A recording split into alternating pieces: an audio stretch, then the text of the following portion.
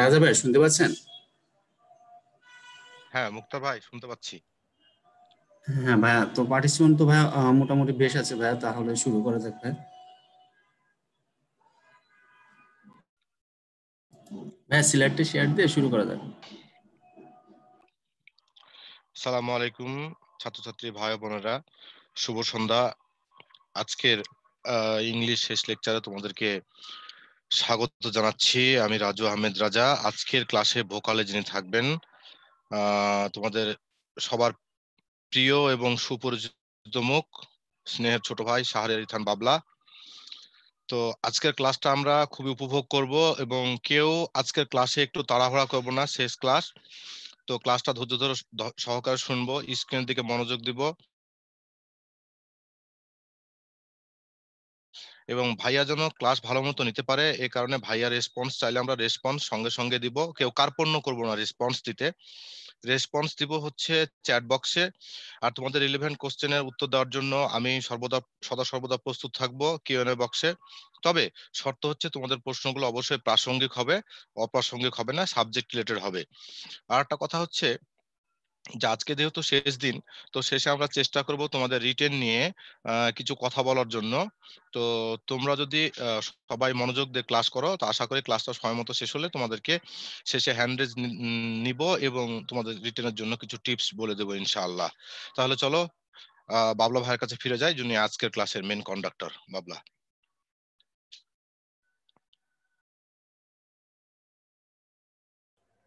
আসসালামু আলাইকুম সবাইকে। আমন্ত্রণ জানাচ্ছি তোমাদের আজকের ক্লাসে। তো শেষ ইংলিশ ক্লাস বুঝতে পারছ। এরপরে আর ইংলিশ ক্লাসে হয়তো তোমাদের এবছর আর তোমাদের সাথে ইংলিশ ক্লাসে দেখা হবে না। তো যাই হোক, আজকের ক্লাসে বেশ কিছু টপিক আছে। ওকে? তো দেখলাম যে অনেকে মানে আমি ক্লাস নিচ্ছি দেখে আগেই ভয় পেয়ে গেছে। একজন তো কোয়েশ্চেন অ্যান্সারে লিখেও দিছে যে, ভাই, আজকে বাবলা ভাই ক্লাস নেবে, সবাই সাবধান। যাই হোক, ভয় পাওয়ার কিছু নেই। আজকে কোনো বকাঝকা করব না, কাউকে পানিশমেন্ট দিব না কিছু দিব না, কোনো সমস্যা নেই। হ্যাঁ ঠিক আছে? ওকে। তো আমরা চলো, আমরা ক্লাসে চলে যাই। আজকে আমরা লেকচার সেভেন ভাই লাইভে আসেন। হ্যাঁ লাইভে আসব একদিন, ঠিক আছে? তোমাদের সবাইকে নিয়ে লাইভে আসব। এক একা লাইভে এসে মজা আছে, বলো আমি চেহারা দেখলাম, তোমাদের চেহারা মানে দেখলাম না, সেটা তাইলে হইল? সবাই একসাথে মিলে একদম মানে দুনিয়া কাপায় লাইভ করব, বুঝছ? যাই হোক, দেখো, প্রথম কথা ইংলিশ ই সেভেন এই লেকচারগুলো মানে আমাদের আছে কি কি বিষয় আছে? ক্লাস থেকে শুরু করে অ্যাপ্রোপ্রিয়েট প্রিপোজিশন পর্যন্ত অনেক টপিক আছে। তো আমরা যদি একটু লেকচার প্ল্যানটা দেখে নিই, এর ভিতরে অ্যাপ্রোপ্রিয়েট প্রিপোজিশন ভোকাবুলারি এগুলো তোমাদের স্লাইডের সাথে দেওয়া থাকে। এগুলো মেমোরাইজ করার জিনিস অ্যানালজিও থাকবে। ট্যাগ কোয়েশ্চেন নিয়ে একটু আলোচনা করব আলোচনা করব সিকোয়েন্স অফ টেন্স আলোচনা করব আর্টিকেল নিয়ে।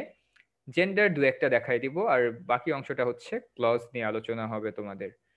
তো আমি ব্যক্তিগতভাবে মনে করি গ্রামারে যতগুলো বিষয় থাকে, এর ভেতরে, কঠিন বিষয়গুলোর ভেতরে একটা হচ্ছে ফ্রেজ অ্যান্ড ক্লজ তো গত ক্লাসে তো আমরা ফ্রেজ নিয়ে আলোচনা করেছিলাম।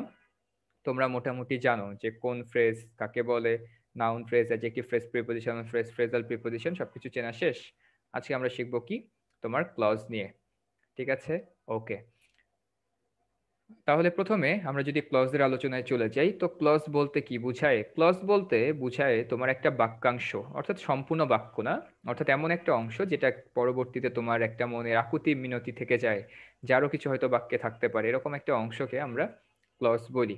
তো ক্লজ হওয়ার শর্ত, সেখানে অবশ্যই তোমার সাবজেক্ট থাকতে হবে এবং অবশ্যই একটা তোমার ফাইনাইট ভার্ব থাকতে হবে। যদি সাবজেক্ট এবং ফাইনাইট ভার্ব না থাকে, তাহলে তাকে আমরা ক্লজ বলতে পারি না। ক্ষেত্র বিশেষে সাবজেক্ট লুকায় থাকতে পারে, কিন্তু ফাইনাইট ভার্ব সবসময় থাকবে। অর্থাৎ ক্লজ হওয়ার প্রথম এবং পূর্ণাঙ্গ শর্ত হচ্ছে ফাইনাইট ভার্ব থাকা।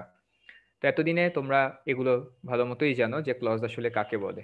তো ক্লজকে যদি আমরা ভাগ করতে যাই, তাহলে প্রথম যে দুটো ভাগ আসবে, একটাকে আমরা বলি হচ্ছে মেইন ক্লজ যেটা প্রধান, আর মেইনের অধীনে আরেকজন থাকে, যেটাকে আমরা বলি সাবঅর্ডিনেট ক্লজ ঠিক আছে? তো এই মেইন ক্লজকে স্বাধীন ক্লজ বা ইন্ডিপেন্ডেন্ট ক্লজও বলা হয়। কি বলা হয়? স্বাধীন ক্লজ মানে স্বাধীন, কোনো হানাদার বাহিনী নাই, কোনো অ্যাটাক নাই, নিজের যেমনে ইচ্ছা তেমনে থাকে। পুরোপুরি স্বাধীন।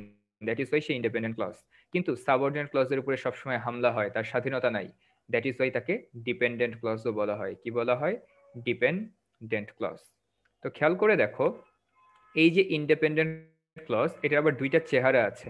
দুইটা চেহারা বলতে একটা চেহারাকে আমরা সবসময় প্রিন্সিপাল ক্লজ বলি, আরেকটা চেহারা আছে যাকে আমরা সবসময় বলি কোঅর্ডিনেট ক্লজ ঠিক আছে? কি বলি? কোঅর্ডিনেট ক্লজ এখন প্রথম কথা সিম্পল সেন্টেন্সে একটা বাক্য থাকে। সেই বাক্যটাকে আমরা অনেকেই মেইন ক্লস ইন্ডিপেন্ডেন্ট ক্লজ কিংবা প্রিন্সিপাল ক্লজ বলি। কিন্তু মাথায় রেখো, একটা বাক্য, পূর্ণাঙ্গ বাক্য যখন সেন্টেন্স মানে একটা বাক্য কিংবা সেন্টেন্স সেটা একটা সেন্টেন্স সেটা ক্লজ না। তার মানে সিম্পল সেন্টেন্সে কোনো ক্লজ থাকে না, একটা মাত্র পূর্ণাঙ্গ সেন্টেন্স থাকে, গেল। তার মানে ক্লজ থাকবে কোথায়? হয় কমপ্লেক্সে নাহলে কম্পাউন্ডে জেনে রেখো কোঅর্ডিনেট ক্লজটা কেবলমাত্র কম্পাউন্ড সেন্টেন্সে বসে। কোন সেন্টেন্সে কম্পাউন্ড সেন্টেন্সে অ্যান্ড বাট অর ইত্যাদি শব্দগুলো দিয়ে যে যুক্ত হয় যে ক্লজগুলো তাদেরকে আমরা কোঅর্ডিনেট ক্লজ বলি। তাহলে বাকি থাকে প্রিন্সিপাল এই প্রিন্সিপাল ক্লজ আর সাবঅর্ডিনেট ক্লজের দেখা কোথায় মিলবে?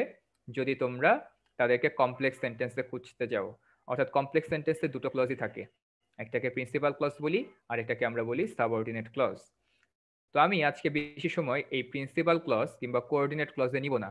তার কারণ কি? তোমরা যখন ট্রান্সফরমেশন পড়েছিলা, মনে আছে যে ফ্যান বয়েজ দিয়ে তোমাদেরকে দেখানো হয়েছিল, এই ফ্যান বয়েজদের প্রত্যেকটা শব্দ হচ্ছে একটা ক্লজ মার্কার এদের দিয়ে যুক্ত হইলে তারা কোঅর্ডিনেট ক্লজ তেমনই হবে আ হোয়াইট বাস আ হোয়াইট বাস দিয়ে যুক্ত হওয়া ক্লজগুলোকে আমরা বলি হচ্ছে যে, সেগুলোকে আমরা সাবঅর্ডিনেট ক্লজ বলি, যার সাথে যুক্ত হয় না, তাকে আমরা প্রিন্সিপাল ক্লজ বলি। তো প্রিন্সিপাল ক্লজ এবং কোঅর্ডিনেট ক্লজ এটা নিয়ে আমাদের আইডিয়া ভালো মতো আছে। কিন্তু আমাদের যেটা জানা দরকার সেটা হচ্ছে সাবঅর্ডিনেট ক্লজকে আমরা আবার তিনটা ভাগে ভাগ করতে পারি। কয়টা ভাগে ভাগ করতে পারি? তিনটা ভাগে। তো একটা ভাগ হচ্ছে নাউন ক্লজ একটা ভাগ হচ্ছে অ্যাজেক্টিভ ক্লজ একটা ভাগ হচ্ছে অ্যাডভার্ব ক্লজ ঠিক আছে? তো সাবঅর্ডিনেট ক্লজের ভিতরে এই তিনটা প্রকার ভেদ আছে। কেউ আবার নতুন করে প্রিপোজিশনাল ক্লজ আবার কনজাংশনাল ক্লজ ভার্বাল ক্লজ এগুলো আবার পয়দা কইরো না, ঠিক আছে? তো সাবঅর্ডিনেট ক্লজ এই তিনটাই নাউন অ্যাজেক্টিভ এবং অ্যাডভার্ব তো এখন আমরা একটা একটা করে শিখব, চলো কোন ক্লজ কাকে বলে? খুব ভালো মতো মনোযোগ দিবা, একদম বুঝাই দিব, কোনোদিন সমস্যা হবে না। আসিফ লিখতেছো, ভাই এক্সাম্পল প্লিজ বুঝাইতে দাও আমাকে আমার মতো। উদাহরণ যখন দেওয়ার দরকার অটোমেটিক উদাহরণ চলে আসবে। তো প্রথম কথা নাউন ক্লজ কাকে বলে? তো একটা নাউনকে একটা বাক্যের যেই জায়গায় পাওয়া যায়, সেই জায়গায় যদি একটা বাক্যকে পাও, সেটা তোমার একটা নাউন ক্লজ তাহলে একটা বাক্যে তোমার সাবজেক্ট হিসেবে নাউনের দেখা পাওয়া যায়, একটা বাক্যে অবজেক্ট হিসেবে নাউনের দেখা পাওয়া যায়। তো গত ক্লাসে যারা মনোযোগ দিয়েছিল, আমাকে একটু জানায় দাও ঝটপট যে অবজেক্ট কয়টা পার্টস অফ স্পিচের থাকতে পারে? গত ক্লাসে পড়ানো হয়েছিল তোমাদেরকে, বলো যে অবজেক্ট কয়টা পার্টস অফ স্পিচের অবজেক্ট থাকতে পারে? আমাকে একটু ঝটপট উত্তর জানিয়ে দাও। ভেরি গুড দুইটা পার্টস অফ স্পিচের অবজেক্ট থাকতে পারে ভার্ব এবং প্রিপোজিশন ভার্বের অবজেক্ট থাকে এবং প্রিপোজিশনের অবজেক্ট থাকে। ভেরি গুড যারা দুইটা অ্যান্সার করেছ থ্যাংক ইউ সো মাচ ভার্বেরও অবজেক্ট থাকে প্রিপোজিশনের অবজেক্ট থাকে। তাহলে এই তিনটা জায়গায় আমরা খুঁজবো, দেখি নাউনের দেখা পাওয়া যায় কিনা। যেমন আমি যদি উদাহরণ দেই, প্রথম উদাহরণটা when he will arrive is uncertain সে কখন আসবে বা কখন সে ফিরবে, সেটা অনিশ্চিত, তার কোনো নিশ্চয়তা নাই। তাহলে এটা কি একটা বাক্যের সাবজেক্ট না? দেখো ভার্বের আগে যে অংশটা থাকে তাকেই তো আমরা সাবজেক্ট হিসেবে জানি। তো একটা বাক্যের সাবজেক্ট হিসেবে সম্পূর্ণ একটা বাক্যের মতো অংশ বসে গেছে, যেখানে তোমার সাবজেক্ট আছে, যেখানে ফাইনাইট ভার্ব আছে। তার মানে এটা অবশ্যই একটা ক্লজ এই ক্লজটাকে আমরা কি বলব? এটাকে আমরা নাউন ক্লজ বলব। কি বলব? এটাকে চোখ বন্ধ করে একটা নাউন ক্লজ ঠিক আছে? আগে দেখতে থাকো। একটু কঠিন করে বুঝো, তারপরে সহজ করে বুঝাচ্ছি। অবজেক্ট হিসেবে কেমনে বসতে পারে? দেখো I know where he lives I know where he lives আমি জানি সে কোথায় বসবাস করে। আই নো হোয়াট আমি কি জানি? আমরা জানি যে প্রত্যেকটা ভার্বকে যদি আমরা কি অথবা কাকে দিয়ে প্রশ্ন করে যদি উত্তর পাই, তাহলে যে উত্তরটা পাবো সেটা অবজেক্ট তাহলে এখানে অবজেক্ট হিসেবে কিন্তু একটা সাবজেক্ট আছে, একটা ভার্ব আছে। তো এটাকেও আমরা একটা ক্লজ বলব। কোন ধরনের ক্লজ বলব? এটা নাউন ক্লজ হয়ে যাবে। তাইলে ভার্বের অবজেক্ট দেখলাম। প্রিপোজিশনের অবজেক্ট আবার কি জিনিস? অর্থাৎ প্রিপোজিশনের পরে যে অংশটা থাকে, তাদেরকে প্রিপোজিশনাল অবজেক্ট বলা হয়। উদাহরণ, খেয়াল করো there is much truth in what he says মানে সে যা বলে, তার ভিতরে অনেক সত্যতা আছে। তাহলে এই বাক্যে প্রিপোজিশন কোনটা ইন তাহলে ইনের পরবর্তী অংশটাকে প্রিপোজিশনাল অবজেক্ট বলা হবে। তো আমরা জানি প্রিপোজিশনের পরে যে অংশটা থাকে সেটা অবজেক্ট আর এখানে অবজেক্ট হিসেবে তোমার সাবজেক্টও আছে, এখানে ভার্বও আছে। তার মানে এটাকে আমরা একটা ক্লজ বলব। কোন ক্লজ এটাও নাউন ক্লজ তাহলে এত কথা তো ভাই মনে রাখতে পারব না, তাই না? মাথা থেকে বের হয়ে যাবে। তো খুব সহজ একটা উদাহরণ মানে শর্টকাট দিয়ে তোমরা সারা জীবন মনে রাখতে পারো, সেটা কি? ইট মোট কথা তুমি নাউন ক্লজকে যে কোনো সময় ইট দিয়ে রিপ্লেস করতে পারবা। বাক্যের অর্থের চেঞ্জ হয়ে যেতে পারে, কিন্তু বাক্যটা একটা অর্থবোধক বাক্য হবে। খেয়াল করে দেখো। আমরা ইট ইজ আনসার্টেন বলা যায়?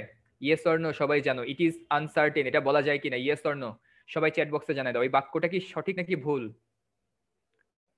এটা বলা যায় না। একজন লিখছো নো বলা যায় না। কেন বলা যাবে ইট ইজ আনসার্টেন এটা অনিশ্চিত। বলা যায়, অবশ্যই বলা যায়। আমি যদি বলি আই নো ইট বলা যায় কিনা? দেখো আই নো ইট বলা যায়? ইয়েস অর নো বলা যায়। তারপর দেখো there is much truth in it এটার ভিতরে অনেক সত্যতা আছে, বলা যায়? এটাও বলা যায়।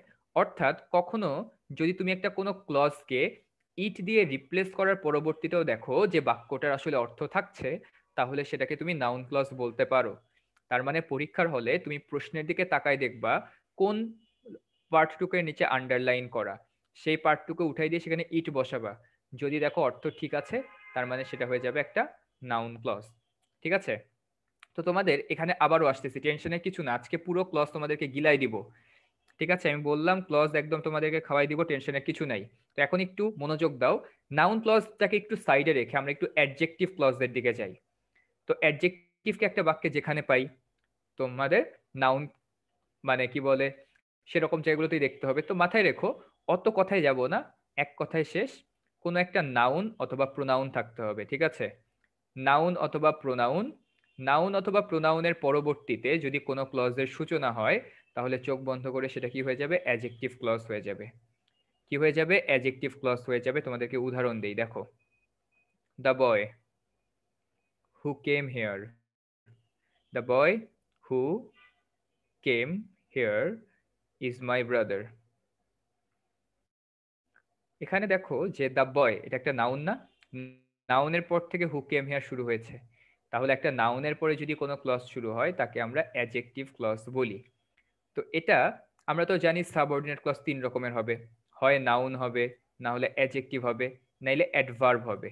তো এটা যে নাউন না, সেটা বুঝব কেমনে? একটু খেয়াল করে দেখো তো the boy it is my brother বাক্যটা কি সঠিক নাকি ভুল? আমাকে বলো। The boy it is my brother বাক্যটা সঠিক নাকি ভুল? বাক্যটা যে ভুল এটা যে কোনো বাচ্চাও বুঝতে পারবে বাক্যটা একটা ভুল। তার মানে এর পক্ষে নাউন ক্লজ হওয়া সম্ভব না। তাহলে অপশন কিন্তু কমে গেল। আমরা অ্যাডভার্ব ক্লজ জানি না বাট আমরা অ্যাডজেক্টিভ ক্লজের তো নিয়ম জানি যে আমরা যখন শুনতে পাচ্ছিস? আচ্ছা। তো আমরা যেটা নিয়ে আলোচনা করছিলাম সরি মনে হয় মুক্তার ভাইয়ের আনমিউট হয়ে গেছিল মুক্তার ভাই যাই হোক। দেখো এখানে নাউন বয়টা কি? নাউন নাউনের পর থেকে যদি কোনো নাউন কিংবা প্রোনাউনের পরে নতুন করে একটা ক্লজ শুরু হয়, তাহলে সেটাকে আমরা কি বলি? অ্যাডজেক্টিভ ক্লজ বলে থাকি। তো এখানে আবারও আসব। তার আগে দেখি তোমরা কতটুকু বুঝেছ? একটা পোল লঞ্চ করছি তোমাদের উদ্দেশ্যে। পোল নাম্বার ওয়ান ঠান্ডা মাথায় বুঝে শুনে অ্যান্সার করিরো আমি যা পড়াইছি তার ভিতর থেকে পোলটা দেওয়া হয়েছে। আমি চাই at least eighty percent correct answer করো। একটা ভরসা নিয়ে পোলটা দিলাম। আশা ভরসা ভাঙ্গো না। So your time starts now ঝটপট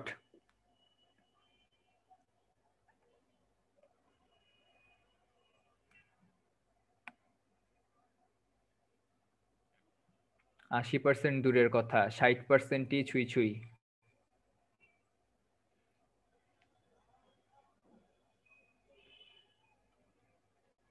তোমাদের কাছে আশা করা মানে দুরাশা। বুঝা গেল।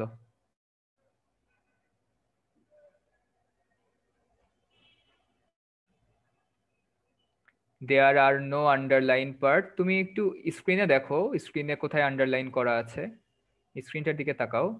Last five seconds time is up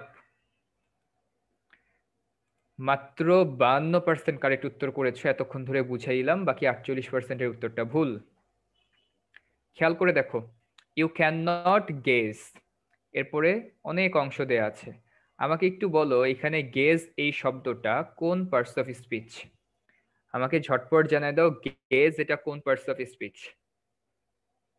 এটা একটা শ্রাবন্তী লিখস মানে দু একজন লিখছে হচ্ছে নাউন এটা একটা ভার্ব আমাকে বলো যে ভার্বের পর থেকে কি অ্যাডজেক্টিভ ফ্রেজ শুরু হইতে পারে কিনা অ্যাডজেক্টিভ ক্লজ আমাকে বলো ভার্বের পরে কি অ্যাডজেক্টিভ ক্লজ শুরু হইতে পারে? ইয়েস অর নো তার মানে এর জন্য অ্যাডজেক্টিভ ক্লজ হওয়া হারাম। তোমাদের ভিতরে আটত্রিশ পার্সেন্টই অ্যাডজেক্টিভ ক্লজ অ্যান্সার করছ। অ্যাডভার্বিয়াল ক্লজে তো যাই নাই অ্যাডভার্বিয়াল ক্লজ হবে না, তার কারণও বলতেছি নান অফ দিস তোমার ক্লজ তো হবে এই তিনটা নান অফ দিস তো কথা আসছে না, এখন নাউন ক্লজ এখন একটু ঠান্ডা মাথায় বলো তো, আমরা কি এটা বলতে পারি না? You can not guess it এই বাক্যটা কি সঠিক নাকি ভুল, বলো। You can not guess it বলা যায়? ইয়েস বলা যায়। যদি বলা যায় তাহলে সেটা কি হবে? সেটা চোখ বন্ধ করে নাউন ক্লজ হয়ে যাবে। তাহলে কত সহজ টপিক আমি যা পড়াইছি তার থেকে বাইরে কোয়েশ্চেন দিছি? বলো। এতক্ষণ জোরে যা পড়াইলাম, অনেকে আছে না যে আমাদেরকে পড়াইলো এক আর একে দুই, কিন্তু পরীক্ষায় দিয়ে দিছে হচ্ছে ফাংশন সেট ইন্টিগ্রেশন এগুলো দিয়ে দিচ্ছে এরকম কিছু দিচ্ছি যা পড়াইছি হুবু তাই দিলাম। তাহলে বলো, আপু ভাইরা বুঝছিলাম না কোথায়? কে কে বুঝো নাই এখনও আমাকে জানাতে পারো। হ্যাঁ অনেক ইজি ছিল। কিন্তু তারপর ফিফটি পার্সেন্ট ভুল করছে। আমাকে বলো, কে কে বুঝো নাই, কোথায় কোথায় বুঝো নাই, বলো।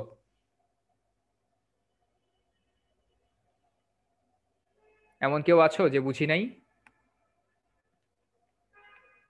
আজকে সবাইকে বুঝাইতে চাই। একদম ধরে ধরে বুঝাই দিব, কোনো সমস্যা নেই।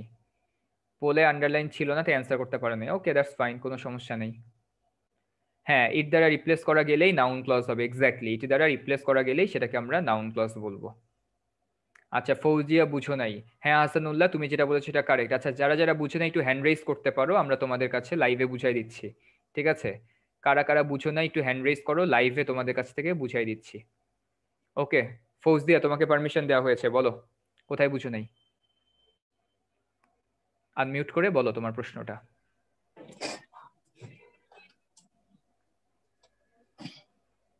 হ্যালো হ্যাঁ ফৌজিয়া তোমাকে শোনা যাচ্ছে, তুমি প্রশ্নটা করো।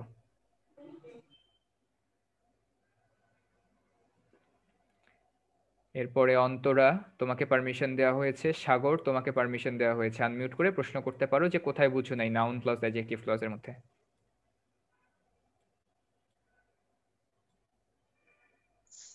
অ্যাকচুয়ালি ভাইয়া আমি এইমাত্রই জয়েন করছি আর কি, সেজন্য পিছনে পার্টটা বুঝতে পারিনি।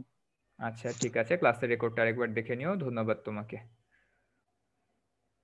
ওকে আর কেউ? তামিমা তোমাকে পারমিশন দেওয়া হয়েছে?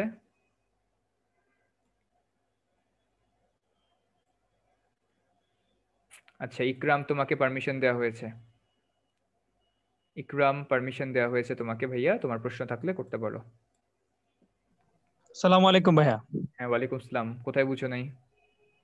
আচ্ছা এখানে আমি যে জিনিসটা ধারণা করছি মানে এখানে হোয়াট তো প্রোনাউন নাই? তাই না? হুম হোয়াটকে আমি ধরে নিলাম প্রোনাউন হ্যাঁ বলো। ধরে নিলাম।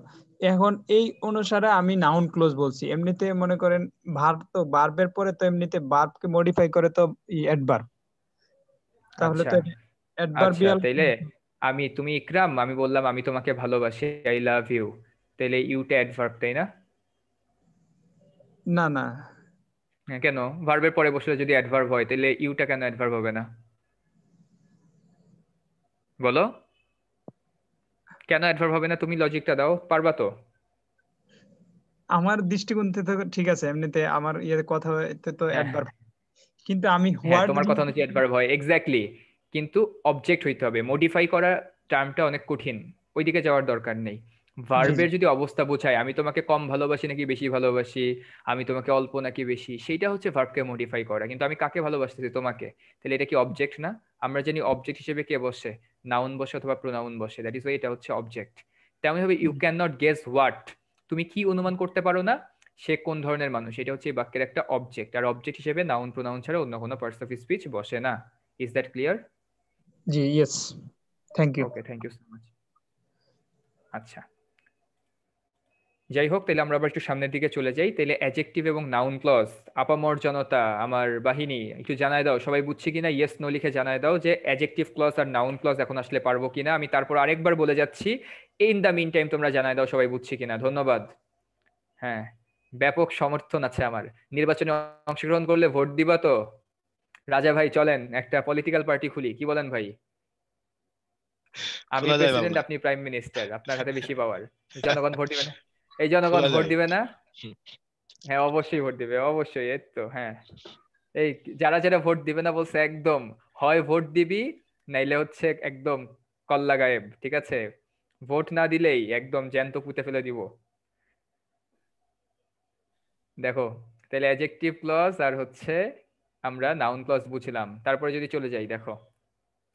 হ্যাঁ ওকে ভাই, ভোটার আইডি নাই, তাহলে বানায় ফেলবা। ভোটে দাঁড়িয়ে দিতে দেরি আছে সামনে ইলেকশন দেরি আছে। এখন দেখো, প্রথম কথা, যে আমরা অ্যাডজেক্টিভ ক্লজ দেখলাম। অ্যাডজেক্টিভ ক্লজের ভেতরে আরও কিছু তোমাকে উদাহরণ দিয়ে দেখাই দিই। যত ধরনের সেক্টর হইতে পারে কয়েকটা উদাহরণ দিই, দেখো। I I ate the fruit fruits which were very tasty ঠিক আছে? I ate the fruits which were very tasty বাক্য নাম্বার এক। তারপরে দেখো I don't know the time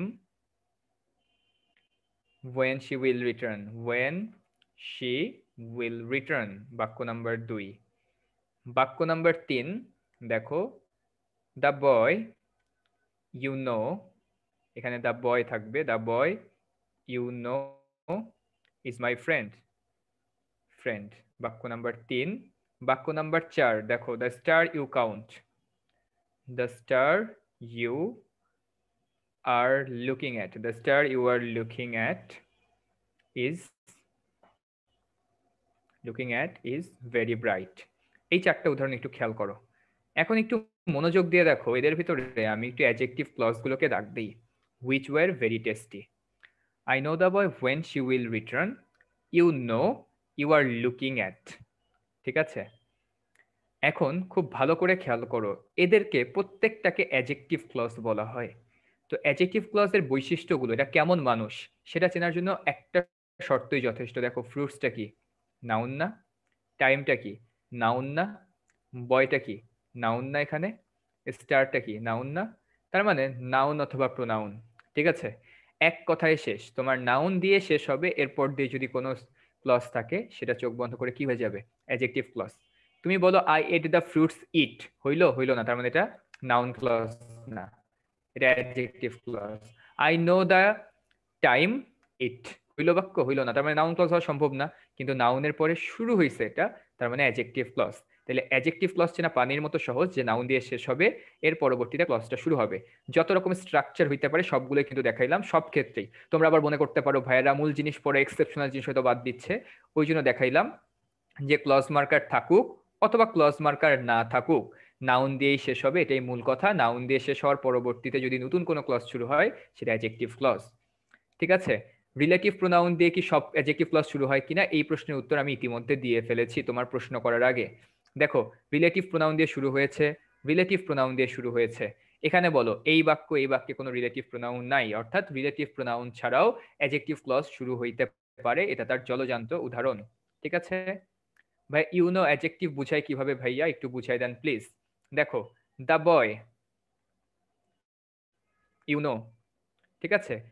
তো প্রথম কথা ইউনো যে একটা ক্লজ এটা আমাকে প্রুফ করতে হবে, এটা একটা সাবজেক্ট এটা একটা ভার্ব সাবজেক্ট ভার্ব তার মানে ক্লজ এটা এখন কোন ধরনের ক্লজ হবে? দেখো ইউ নো এটাকে কাকে মডিফাই করতেছে? কাকে নিয়ে এক্সট্রা তথ্য দিচ্ছে? বয়কে নাউনকে নিয়ে এক্সট্রা তথ্য নিচ্ছে। যে এই ছেলেটা যাকে তুমি জানো, এটা কি ভার্বকে এক্সট্রা তথ্য দিচ্ছে? ভার্বকে নিয়ে? দিচ্ছে না। এটা বয়টাকে নিয়ে এক্সট্রা তথ্য দিচ্ছে। কোন ছেলেটা যাকে তুমি জানো? তাইলে নাউনকে যদি কেউ মডিফাই করে, সেটা অ্যাডজেক্টিভ হয় নাকি অন্য কিছু হয়? বলো। বলো আমাকে যে যদি কেউ নাউনকে মডিফাই করে, সে কি অ্যাডজেক্টিভ ছাড়া অন্য কোনো ক্লজ হয়? হয় না। তাহলে যে আপুটা প্রশ্ন করেছিল, উত্তর পেয়েছ কিনা যে ইউ নো কীভাবে অ্যাডজেক্টিভ ক্লজ হয়? বা এখানে ইউ আর লুকিং এট কীভাবে অ্যাডজেক্টিভ ক্লজ হয়? আশা করি বুঝতে পেরেছ। এখানে কোন তারাটার কথা বলা হচ্ছে? যেই তারাটার দিকে তুমি তাকায় আছো। কোন হৃদয়টার কথা বলা হচ্ছে? যে হৃদয়টা ক্ষত বিক্ষত একদম অনন্ত জলিলের মতো। ঠিক আছে? আমার ক্ষত বিক্ষত হৃদয় আমাকে প্রশ্ন করে। তারপরে লাইনটা কি তোমরা জানো? ঠিক আছে?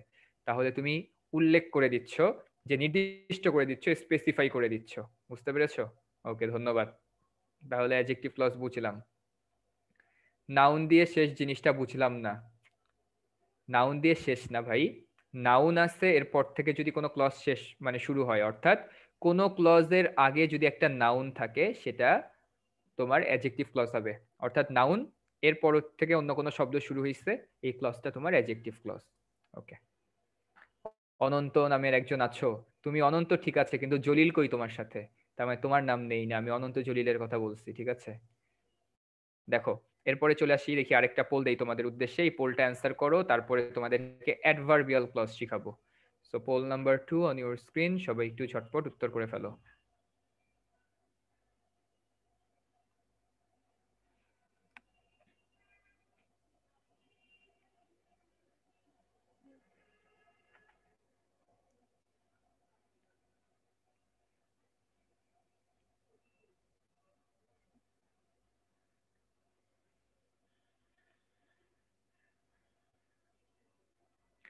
সে আমাকে একটা বলদের লেজ বলল যেটা মিথ্যা। মানে লেজটা যে কারও হইতে পারে। মানে বাক্যটা মিনিং বলতেছি হ্যাঁ? খুবই ইজি পল ভেরি গুড বলদের লেজ। টেল মানে কি? এটা নাইনটি পার্সেন্ট পারবে, আল্লাহ তোমার কথা যাতে আল্লাহ কবুল করে নেয়। দেখি, কয় পার্সেন্ট পারল? একাশি পার্সেন্ট পারছে। Thank you so much last যে কয়টা ক্লাসে ছিলাম, একাশি পার্সেন্ট এত স্টুডেন্ট পারে নাই। তো ধন্যবাদ যে তোমরা ভালো মতো বুঝছ। থ্যাংক ইউ সো মাচ যে বুঝতে পারছ। সবাইকে অসংখ্য ধন্যবাদ। একাশি পার্সেন্ট উত্তর করা মানে রেজাল্টটা খুবই স্যাটিসফাইং ভালো লাগল খুব। প্রথম কথা, এখানে টেল মানে স্টোরি বা গল্প বলা। সে এমন একটা গল্প বলল যেটা মিথ্যা শুনাইলো। এরকম মিথ্যা গল্প কারা বলে বলো তো? এক কথায় বলো যে মিথ্যা গল্প কারা বলে? এক বলে রাজনীতিবিদরা, দ্বিতীয় বলে কারা বলো? দ্বিতীয় বলে বিজনেসম্যানরা তিন নাম্বার আরেকটা বাবলা ভাইয়ের মুখে প্রেজ ওরে বাবা। আরে ভাই চাপাবাজ গাজাখোর ওরাও তো মানুষ। ভাই, তোমরা তাহলে এখনও অনেক দূরে আসছো এক বলে পলিটিশিয়ানরা দ্বিতীয় বলে বিজনেসম্যানরা তিন নাম্বার বলে হচ্ছে মোটিভেশনাল স্পিকাররা কারা বসছে? মোটিভেশনাল স্পিকাররা কথা কি মানে আমি কি ভুল কিছু বলছি? ঠিক না ঠিক বলো। মোটিভেশনাল স্পিকাররা তারা জীবনে যা বলে, তাদের বেশিরভাগগুলো হচ্ছে মিথ্যা কথা। ধরো, আমি আমার অ্যাডমিশন সিজনে অ্যাডমিশন লাইফে তিন মাস বা চার মাস যে পড়ছি আমি ধরো প্রতিদিন ষোলো ঘণ্টা করে পড়ে ঢাকা ভার্সিটিতে চান্স পাইছি। এই গল্প যদি তোমারে বলি, তুমি কি টাকা দিয়ে আমার শো দেখতে আসবে, আসবা না? আমি যদি বলি যে আমি তো খুব খারাপ স্টুডেন্ট ছিলাম, আমি তো একদম পড়াশোনা করি নাই, কিচ্ছু করি নাই। আমি দিনে এক ঘণ্টা, দুই ঘণ্টা করে পড়ছি অ্যান্ড তারপরে আমি চান্স পেয়ে গেছি। আমি পারলে তুমি কেন পারবা না? এটা না বললে কি মানুষ আসবে, বলো? মানুষ আসার জন্য কি বলতে হবে? চাপা মারতে হবে ভাই। এই জন্য তোমাদের জীবনে এত কম পড়াশোনা কেন করতেছো জানো? আমাদের টাইমে মানুষজন আমাদের ভয় দেখাইতো। ভয় দেখাইতো বলতে কি, তুই যেমন করতেছস না, কিচ্ছু করবি না, রিক্সা চালাইতে হবে। ফার্স্ট বয় ক্লাসের ফার্স্ট বয় সেকেন্ড বয় তাদেরকে বলা শুনতাম যে, তুমি জীবনে কিচ্ছু করতে পারবা না। এই কথাগুলো কেন বলতো? ভয় দেখানোর জন্য। আর এখন ছেলে পেয়েদের কি বলতে হয়? যে, আরে, তুমি যে, তোমার রোল যদি ক্লাসে তিনশো জনের ভিতরে তিনশো জনও থাকে।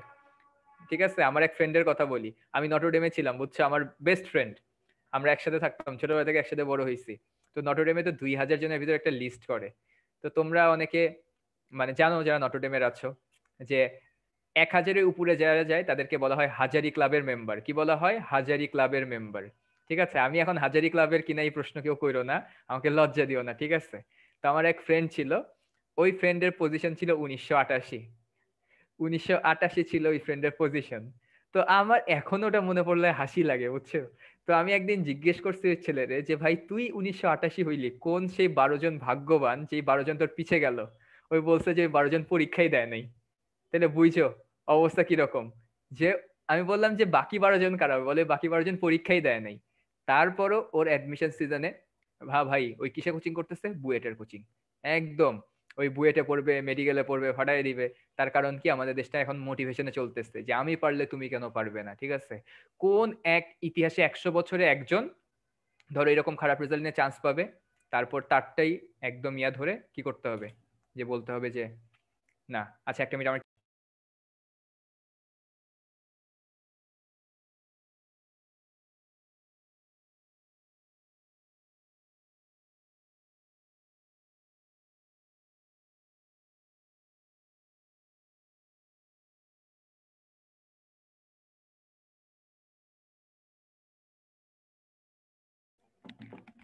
হ্যাঁ আচ্ছা ভাইয়া, ঠিক আছে। তো যাই হোক মানে এটাই হচ্ছে কথা যে মোটিভেশন দিয়ে কিন্তু দিন চলবে না। মোটিভেশন নিয়ে শেষমেশ কিন্তু হতাশা হইতে হবে। আমার সেই ফ্রেন্ড হতাশায় ভুগে, আমার সেই ফ্রেন্ডের মতো আরও অনেক ফ্রেন্ড আছে যারা হতাশায় ভুগে, তাদেরকে কেউ বাস্তবতা দেখায় নাই, সারা জীবন খালি মোটিভেশন দিয়ে গেছে। তো আমি ওই জন্য মোটিভেশনের ধার ধারি না। যাই হোক, যেটা সত্য কথা, এমন গল্প বলছে যেটা আনট্রু লাগতেছে। সেই টেলটা কোন পার্টস অফ স্পিচ বলো? বলো, এই টেলটা কোন পার্টস অফ স্পিচ ঝটপট জানাই দাও আমাকে যে টেলটা কোন পার্টস অফ স্পিচ এটা হচ্ছে নাউন হ্যাঁ চোখ বন্ধ করে এটা একটা নাউন তাহলে নাউনের পর থেকে শুরু হয়েছে এটা কোন ক্লজ হবে? চোখ বন্ধ করে অ্যাডজেক্টিভ ক্লজ হবে। কথা কি ক্লিয়ার নাকি ভেজাল আছে? তাহলে কথা ক্লিয়ার একদম যেটা অ্যাডজেক্টিভ ক্লজ হবে। কোনো সন্দেহ আছে যে নাউনের পর থেকে তোমার একটা ক্লজের সূচনা? ঠিক আছে? দুটো দেশের মানচিত্র সে মিলে গেছে। এটা কি অনিকেত প্রান্তর? তাহলে অনিকেত প্রান্তর থেকে যে ক্লজটা শুরু হয় সেটা কি অ্যাডজেক্টিভ ক্লজ এমনি মনে রাখবা। আমি কিন্তু বিভিন্ন থিওরি দেওয়ার জন্য বিখ্যাত। ঠিক আছে? বিশ্বের এমন এমন অনেক থিওরি আছে যে থিওরিগুলোর নাম শুনো নাই। বিভিন্ন বিখ্যাত, বিভিন্ন লেখকের ওইসব থিওরি আজকে তোমাদেরকে দিব, ঠিক আছে? তো এখানে অনিকেত প্রান্তর থিওরি অনুযায়ী এটা অ্যাডজেক্টিভ ক্লজ দুটো মানচিত্রে নাউনের পর থেকে আরেকটা ক্লজ শুরু হয়ে গেছে। এটা কি? এটা হচ্ছে অ্যাডজেক্টিভ ক্লজ কাহিনী শেষ। আচ্ছা অনেকে মানে টানে লিখতেছে। আচ্ছা মানে টানে এখন জানা দরকার নেই। দেখো, তাইলে আমরা নাউন ক্লজ শিখলাম অ্যাডজেক্টিভ ক্লজ শিখলাম, এখন আমাদের কি শেখা দরকার? এখন আমাদের একটু অ্যাডভার্বিয়াল ক্লজ শেখা দরকার, চলো একটু অ্যাডভার্বিয়াল ক্লজ দেখে নেই। তো অ্যাডভার্বিয়াল ক্লজ চেনার জন্য আমি তোমাদেরকে একটা উদাহরণ দিই প্রথমে, দেখো। তো অ্যাডভার্বকে আমি ব্যক্তিগতভাবে বলি, এটা একটা সর্বগ্রাসী পার্টস অফ স্পিচ অ্যাডভার্বকে আমি একটা সর্বগ্রাসী পার্টস অফ স্পিচ বলি, কারণ মানে এই চোখের সামনে যা পায়, তাই গিলে ফেলে।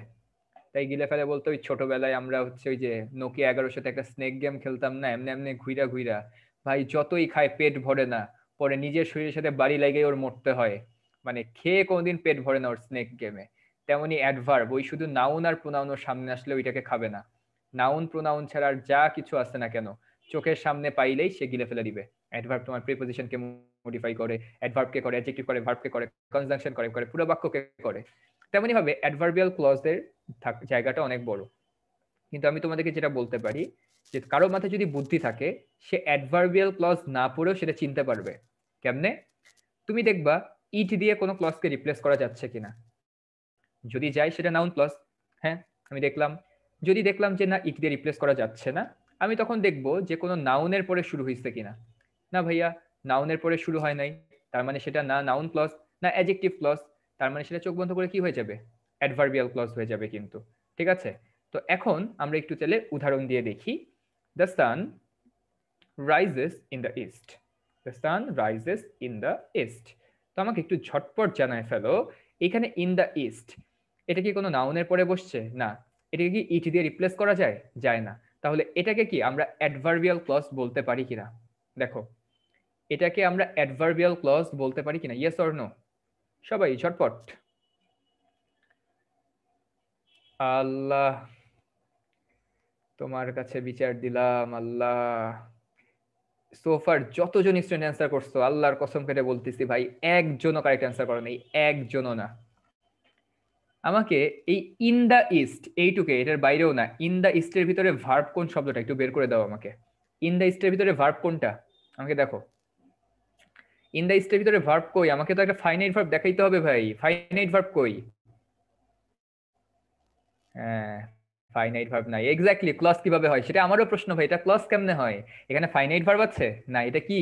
এটা একটা ফ্রেজ তাইলে যেই সব পোলাপান তালে তালে চলছো, তাইলে বুঝো এরকম অবস্থা, ঠিক আছে? ওই যে তাহির হুজুরের মতো। ওই যে বসেন বসেন করতে হবে, যা কমো ওই তালে তালে। বসেন বসেন বলতেছি, তুমি মাথা ঝাঁকাবা। কিন্তু বুঝবা না যে তোমার আমি বসতে বলতেছি। তেমন তো তাকাইতে হবে। আমি যা বললাম সেটা কি মানলে হবে? তোমাদের কি বিবেক বুদ্ধি নাই যে ইন্দা ইস এটা কোন ধরনের ফ্রেজ এটা হচ্ছে তোমার এখন প্রশ্ন ভাই, এটাকে প্রিপোজিশনাল ফ্রেজ বলা যায় কিনা? প্রিপোজিশনের পরে অবজেক্ট থাকলে সেটা প্রিপোজিশনাল ফ্রেজ ঠিক আছে, কিন্তু এই বাক্যে একটা টাইম ইন্ডিকেট করছে। আমরা জানি কখনো যদি কাউকে ওয়েন দিয়ে কোয়েশ্চেন করে উত্তর পাওয়া যায়, তাহলে যে উত্তরটা পাই সেটাকে অ্যাডভার্ব বলা হয়। সো এটাকে কোন ফ্রেজ বলব? আমরা অ্যাডভার্বিয়াল ফ্রেজ বলব। ইন দ্য ইস্ট কি? এখানে এটা ইন দ্য ইস্ট হচ্ছে একটা অ্যাডভার্বিয়াল ফ্রেজ ঠিক আছে? অ্যাডভার্বিয়াল ফ্রেজ তাহলে, এখন তাহলে আমরা একটু মজা দেখি। তাহলে চলো অ্যাডভার্বিয়াল ফ্রেজ আসলে আমরা কাকে বলব? যেমন, দেখো অ্যাডভার্বিয়াল ফ্রেজ অফ টাইম দিয়ে শুরু করছি। তো বিভিন্ন রকম অ্যাডভার্বিয়াল ফ্রেজে তার ভিতরে একটা হচ্ছে টাইম যেমন, ডাক্তার আসিবার পূর্বে রোগী মারা গেল। দেখো the patient had died before the doctor came খেয়াল করে দেখো তাহলে বিফোর দ্য ডক্টর কেম এটা নিচে আন্ডারলাইন করা আছে। তোমার প্রথম কাজ, এটাকে ইট দিয়ে রিপ্লেস করা যায়? দেখো ইট দিয়ে রিপ্লেস করতে পারছি? The patient had died it এটা বলা যায়? The patient had died it বলা যায়? বলা যায় না। তার মানে এটার পক্ষে নাউন ক্লজ হওয়া সম্ভব না। খেয়াল করে দেখো ডাইটা তো নাউন তার ডাইটটা কি নাউন না? বলো, এখানে ডাইটটা নাউন তো? ইয়েস অর নো ডাইটা তো নাউন তার মানে তো এটা অ্যাডজেক্টিভ ক্লজ হবে, তাই নাকি ও না, এটা ভার্ব হ্যাঁ তাহলে ভার্বের পর তো অ্যাডজেক্টিভ ক্লজ হয় না, তার মানে এর পক্ষে অ্যাডজেক্টিভ ক্লজ হওয়া সম্ভব না, তাহলে বাকি থাকে কি? তাহলে বাকি থাকে কোথাও তার যাওয়ার জায়গা নাই, মনে করো বাসায় খুব রাগ করছ তুমি, এই বাসায় আর ফিরে আসবা না, বাসায় কোনো শান্তি নেই, আগে বের হইলা। প্রথমে বান্ধবীর বাসায় গেলা বান্ধবী যে বললা, আমি বাসা থেকে বের হয়ে গেছি, আমাকে একটু থাকতে দাও। বান্ধবী গালের নিচে চট দিয়ে বলবে যে মানে আমার বাসায় আমার বাপরে কি বলব? যে তোমরা কই থেকে নিয়ে আসছি? বিয়ে করে তোমারে আমি জামাই করে নিয়ে আসছি? না, আমার বাসায় কোনো জায়গা হবে না। তুমি রিজেকশন খাইলা, প্রথম ছ্যাঁকা খাইলা। এরপর গেলা তুমি বেস্ট ফ্রেন্ডের কাছে। বলল, না, আমার আব্বা শুনলে মারবে যে একটা ফ্রেন্ড পালায় চলে আসছে, থাকিস না। তোমার ফ্রেন্ডও রিজেক্ট করে দিল। তারপর তুমি বড় ভাইয়ের কাছে গেলা। বড় ভাই বলল, আরে না, আমার বাসায় আমার নিজেরই থাকার জায়গা নেই। ওখান থেকেও রিজেকশন খাইলা। এখন তুমি দিন শেষে কই ফিরে আসবা? যে তোমার ওই অ্যাডভার্ব ছাড়া আর যাওয়ার জায়গা নেই। তাহলে এখানে নাউন তোমাকে ডিচ মারলো অ্যাডজেক্টিভ তোমাকে ডিচ মারলো। তুমি আর কই যাবা বন্ধু? অ্যাডভার্বে যাওয়া ছাড়া আর কোনো জায়গা নাই। তাইলে এটা কোন ধরনের? এটা এক ধরনের অ্যাডভার্বিয়াল ক্লজ এটাকে কোন ধরনের অ্যাডভার্বিয়াল ক্লজ বলা হয়? Adverbial clause of time adverbial clause of time কেমনে বুঝব? যখন আমরা ওয়েন দিয়ে কোয়েশ্চেন করে উত্তর পাবো। When had the patient died ঠিক আছে? কখন মারা গেল? ডাক্তার আসিবার পূর্বে। তাইলে এটা যে অ্যাডভার্বিয়াল ক্লজ তোমার দিন শেষে যে অ্যাডভার্বে ফেরা ছাড়া ওয়ে নেই এটা তো বুঝলাম আমরা। বলো। আল রোমান লিখছে, মেয়েরা রাগ করলে জায়গা পাবে অনেক। কেন এক্সপিরিয়েন্স আছে ভাইয়া? হ্যাঁ? কারে জায়গা দিচ্ছ জীবনে এত? কারও যদি জায়গা লাগে তাহলে হচ্ছে এই ভাইয়ার সাথে দেখা করো ঠিক আছে? ভাইয়া অনেক জায়গা দিতে পারে। তাহলে বুঝলাম অ্যাডভার্বিয়াল ক্লজ অফ টাইমটা বুঝলাম, এরপর অ্যাডভার্বিয়াল ক্লজ অফ প্লেস এবার জায়গায় চলে যাই, ঠিক আছে? এবার চলে আসি প্লেস প্লেস কেমনে বুঝব? দেখো। The air is cold where there is a sea, where there is a sea তাহলে এখানে দেখো the air is cold it cold it বলে কোনো কথা আছে না? আবারও রিজেক্ট হইলা নাউন ক্লজ না। কোল্ড কোন পার্টস অফ স্পিচ বলো? বলো। এখানে কোল্ড কোন পার্টস অফ স্পিচ সবাই ঝটপট বলে দাও আমাকে। এটা একটা, এই নাউন কে বলে রে ভাই? এই নাউন কারা বলে? তাদের আসো, তাদেরকে শুলে চড়ানো উচিত। একদম, এই শাস্তি ছাড়া আর কোনো শাস্তি না। তোমাদেরকে মানে এনামুলের ভাষায় গর্জন দিতে হবে, হুঙ্কার দিতে হবে ছাড়া তো কোনো ওয়ে দেখতেছি না। এখানে লিঙ্কিং ভার্বের পরে তুমি একটা নাউন বসাই দিলা ভাই কোল্ড নাকি ভার্ব আর কিছু আর কিছু বাকি আছে বলো? এটা অ্যাডভার্ব এটা ভার্ব নাউন প্রোনাউন এটা অ্যাডজেক্টিভ ভাই, এটা একটা অ্যাডজেক্টিভ অ্যাডজেক্টিভের পরে কি অ্যাডজেক্টিভ ক্লজ শুরু হয়? না, তার মানে এর যাওয়ার জায়গা নেই এর যাওয়ার জায়গা হচ্ছে অ্যাডভার্ব মাথায় রেখো যদি কখনো ক্রীড়া সংগঠনের জায়গা বুঝায় প্লেস বুঝায় কিংবা ওয়ার দিয়ে কোয়েশ্চেন করে উত্তর পাওয়া যায় তাহলে যে উত্তরটা পাওয়া যায় সেটা কি? অ্যাডভার্বিয়াল ক্লজ অফ প্লেস এটাকে কি বলা হয়? অ্যাডভার্বিয়াল ক্লজ অফ প্লেস ঠিক আছে? ওকে হ্যাঁ সবার মাথায় এখন ইচিং বিচিং চলতেছে শীতের ইচিং এ ওকে অনেকে নাম সৈনিক দেখতে পাচ্ছি এখানে। দেখো, তাহলে অ্যান্সার কি হবে এখানে? The air is cold where there is a sea এটা যে অ্যাডভার্বিয়াল ক্লজ এটা তো নিয়ম ছাড়াও আমরা বুঝতে পারি। প্রথম কথা ইট দিয়ে রিপ্লেস করা যায় না। দ্বিতীয় কথা, এটা কোনো নাউনের পরে বসে নাই। তার মানে চোখ বন্ধ করে এটা একটা অ্যাডভার্বিয়াল ক্লজ কোন ধরনের অ্যাডভার্বিয়াল ক্লজ যেহেতু জায়গা বুঝাচ্ছে, তার মানে এটা হচ্ছে অ্যাডভার্বিয়াল ক্লজ অফ প্লেস বুঝতে পারছি সবাই? দেখো। ভাই প্রোনাউনের পরে নাউন ক্লজ হয়? না প্রোনাউনের পরে যদি শুরু হয় কোনো ক্লজ সেটা অ্যাডজেক্টিভ ক্লজ হবে। বুঝছে কিনা সবাই বলো? ওকে ধন্যবাদ। এরপরে দেখো, আরও আছে তোমার কি? অ্যাডভার্বিয়াল ক্লজ অফ তোমার কজ অথবা রিজন এবার একটা খুব জীবনের দুঃখ, কষ্ট শেয়ার করি তোমাদের সাথে, কিচ্ছু করার নেই। ঠিক আছে?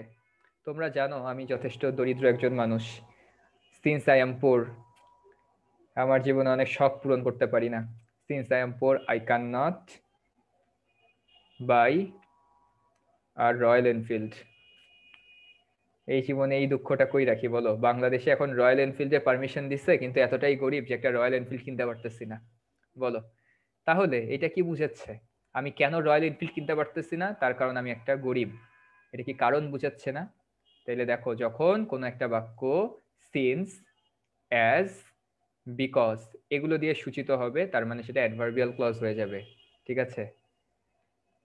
ভাই, টাকা লাগবে? নিয়ে জানি তো। না ভাই মানে মানুষের টাকা ভাই, আমি ধার শোধ করতে পারব না। যদি সম্প্রদান কারকের মতো দান করো ভাই, তাইলে আমি নিতে পারি, কোনো সমস্যা নেই। আমাকে দান করার পূর্বে বলতে হবে যে, সম্প্রদান কারকের শর্ত মতো আমি দান করতেছি। তাইলে নিতে রাজি আছি, কোনো সমস্যা নেই। হ্যাঁ দরিদ্র বলে কিছু নেই, আমরা exploited by the bourgeois very good সুন্দর কথা বলছো হ্যাঁ। তাইলে আমার জন্য একটা দান বাক্স খুলি। একটু পরে হচ্ছে ওই যে ব্রেক দেওয়ার আগে বলব যে, ডান পাশের দান বাক্সগুলো চালু করে দেন। সবাই মুক্ত হস্তে দান করেন ঠিক আছে? ওকে। আচ্ছা দেখো ভাইয়া গরিবরা তো জানেই না যে দেশের রয়্যাল এনফিল্ড আসছে। যাই হোক বাংলাদেশে কিন্তু রয়্যাল এনফিল্ড আসতেছে সো বি কেয়ারফুল দেখো এখন কারণ বুঝাইতেছে এটা কজ বা রিজন আর কজ বা রিজন যদি বুঝায় তার মানে সেটা কিন্তু অ্যাডভার্বিয়াল ক্লজ হয়ে যাবে। কি হয়ে যাবে? অ্যাডভার্বিয়াল ক্লজ ঠিক আছে? ভাই আপনি আগের ক্লাসে বলছিলেন বাংলা পারেন না। হ্যাঁ বাংলা পারি না তো ওই যে সম্প্রদান কারকটাই জানি শুধু ঠিক আছে? দেখো তাহলে, প্রথম কথা it I can't buy a Royal Enfield বাক্য হয় না। এটার আগে কোনো নাউন নাই। অ্যাডজেক্টিভ ক্লজ হয় না। তার মানে অ্যাডজেক্টিভ ক্লজ না নাউন ক্লজও না। তাহলে বাকি থাকে একটাই। সেটা কি তোমার? সেটা অ্যাডভার্বিয়াল ক্লজ তাহলে মাথায় রেখো সিন্স অ্যাজ বিকজ দিয়ে যদি কোনো ক্লজ শুরু হয়, সেটা চোখ বন্ধ করে অ্যাডভার্বিয়াল ক্লজ সেটাকে অ্যাডভার্বিয়াল ক্লজ কজ বা রিজন বলা হয়। অনেকে আবার লিখছে রয়্যাল এনফিল্ড মানে কি? এটা একটা মোটরসাইকেলের কোম্পানি বাইকের কোম্পানি ঠিক আছে? তো এই রয়্যাল এনফিল্ড বাংলাদেশে আসার পারমিশন নাই। তো বাংলাদেশে মোটরসাইকেলগুলো হাইস্ট দেড়শো থেকে একশো পঁয়ষট্টি সিসি পর্যন্ত হয়ে থাকে। এর বেশিও দু একটা আছে সেগুলো স্পেশাল পারমিশনে আনানো। কিন্তু রয়্যাল এনফিল্ডের নর্মাল বাইকগুলো তিনশো তিনশো পঞ্চাশ সিসি এরকম করে। তো বাংলাদেশে একটা এমওই সাইন করছে ওরা যে বাংলাদেশে এখন রয়্যাল এনফিল্ড তোমার এখানে অ্যাসেম্বলি করে বাংলাদেশে বিক্রি করবে। তো চার লাখ, পাঁচ লাখ টাকা করে দাম হবে এক একটা বাইকের তো এটাই হচ্ছে রয়্যাল এনফিল্ড বুঝছ? ওকে তো যাই হোক এক প্রশ্ন থেকেই প্রশ্ন আসে। এখন পোলাপান জিজ্ঞেস করা শুরু করছে দেড়শো সিসি কি দুইশো সিসি কি ভাই? এগুলো আস্তে ধীরে জানবা সমস্যা নেই। দেখি তাইলে আমাদের কজ রিজন বুঝলাম। তাহলে সিন্স অ্যাজ বিকজ থাকলে সেটাকে অ্যাডভার্বিয়াল ক্লজ বলব। এরপরে চলে আসি ইফেক্ট দেখো তো জীবনে ছেকা দিয়ে চলে যায় কিন্তু ইফেক্ট তো অনেকদিন থাকে। ছেকা দেওয়া একদিনের কিন্তু ইফেক্টটা দীর্ঘদিনের। তার মানে যেখানেই ইফেক্ট আছে। জি ভাইয়া অবশ্যই। ও যে কিউএনএ তে এখন পোলাপান জিজ্ঞেস আজকে শুনলাম তোমার কাছে। তো এটা আমি কেমনে দেব? আচ্ছা আচ্ছা আচ্ছা ভাই ওগুলো স্কিপ করে দেন ভাই আমি উত্তর দিয়ে দিচ্ছি যে রয়্যাল এনফিল্ড একটা মোটরসাইকেল কোম্পানির নাম ঠিক আছে?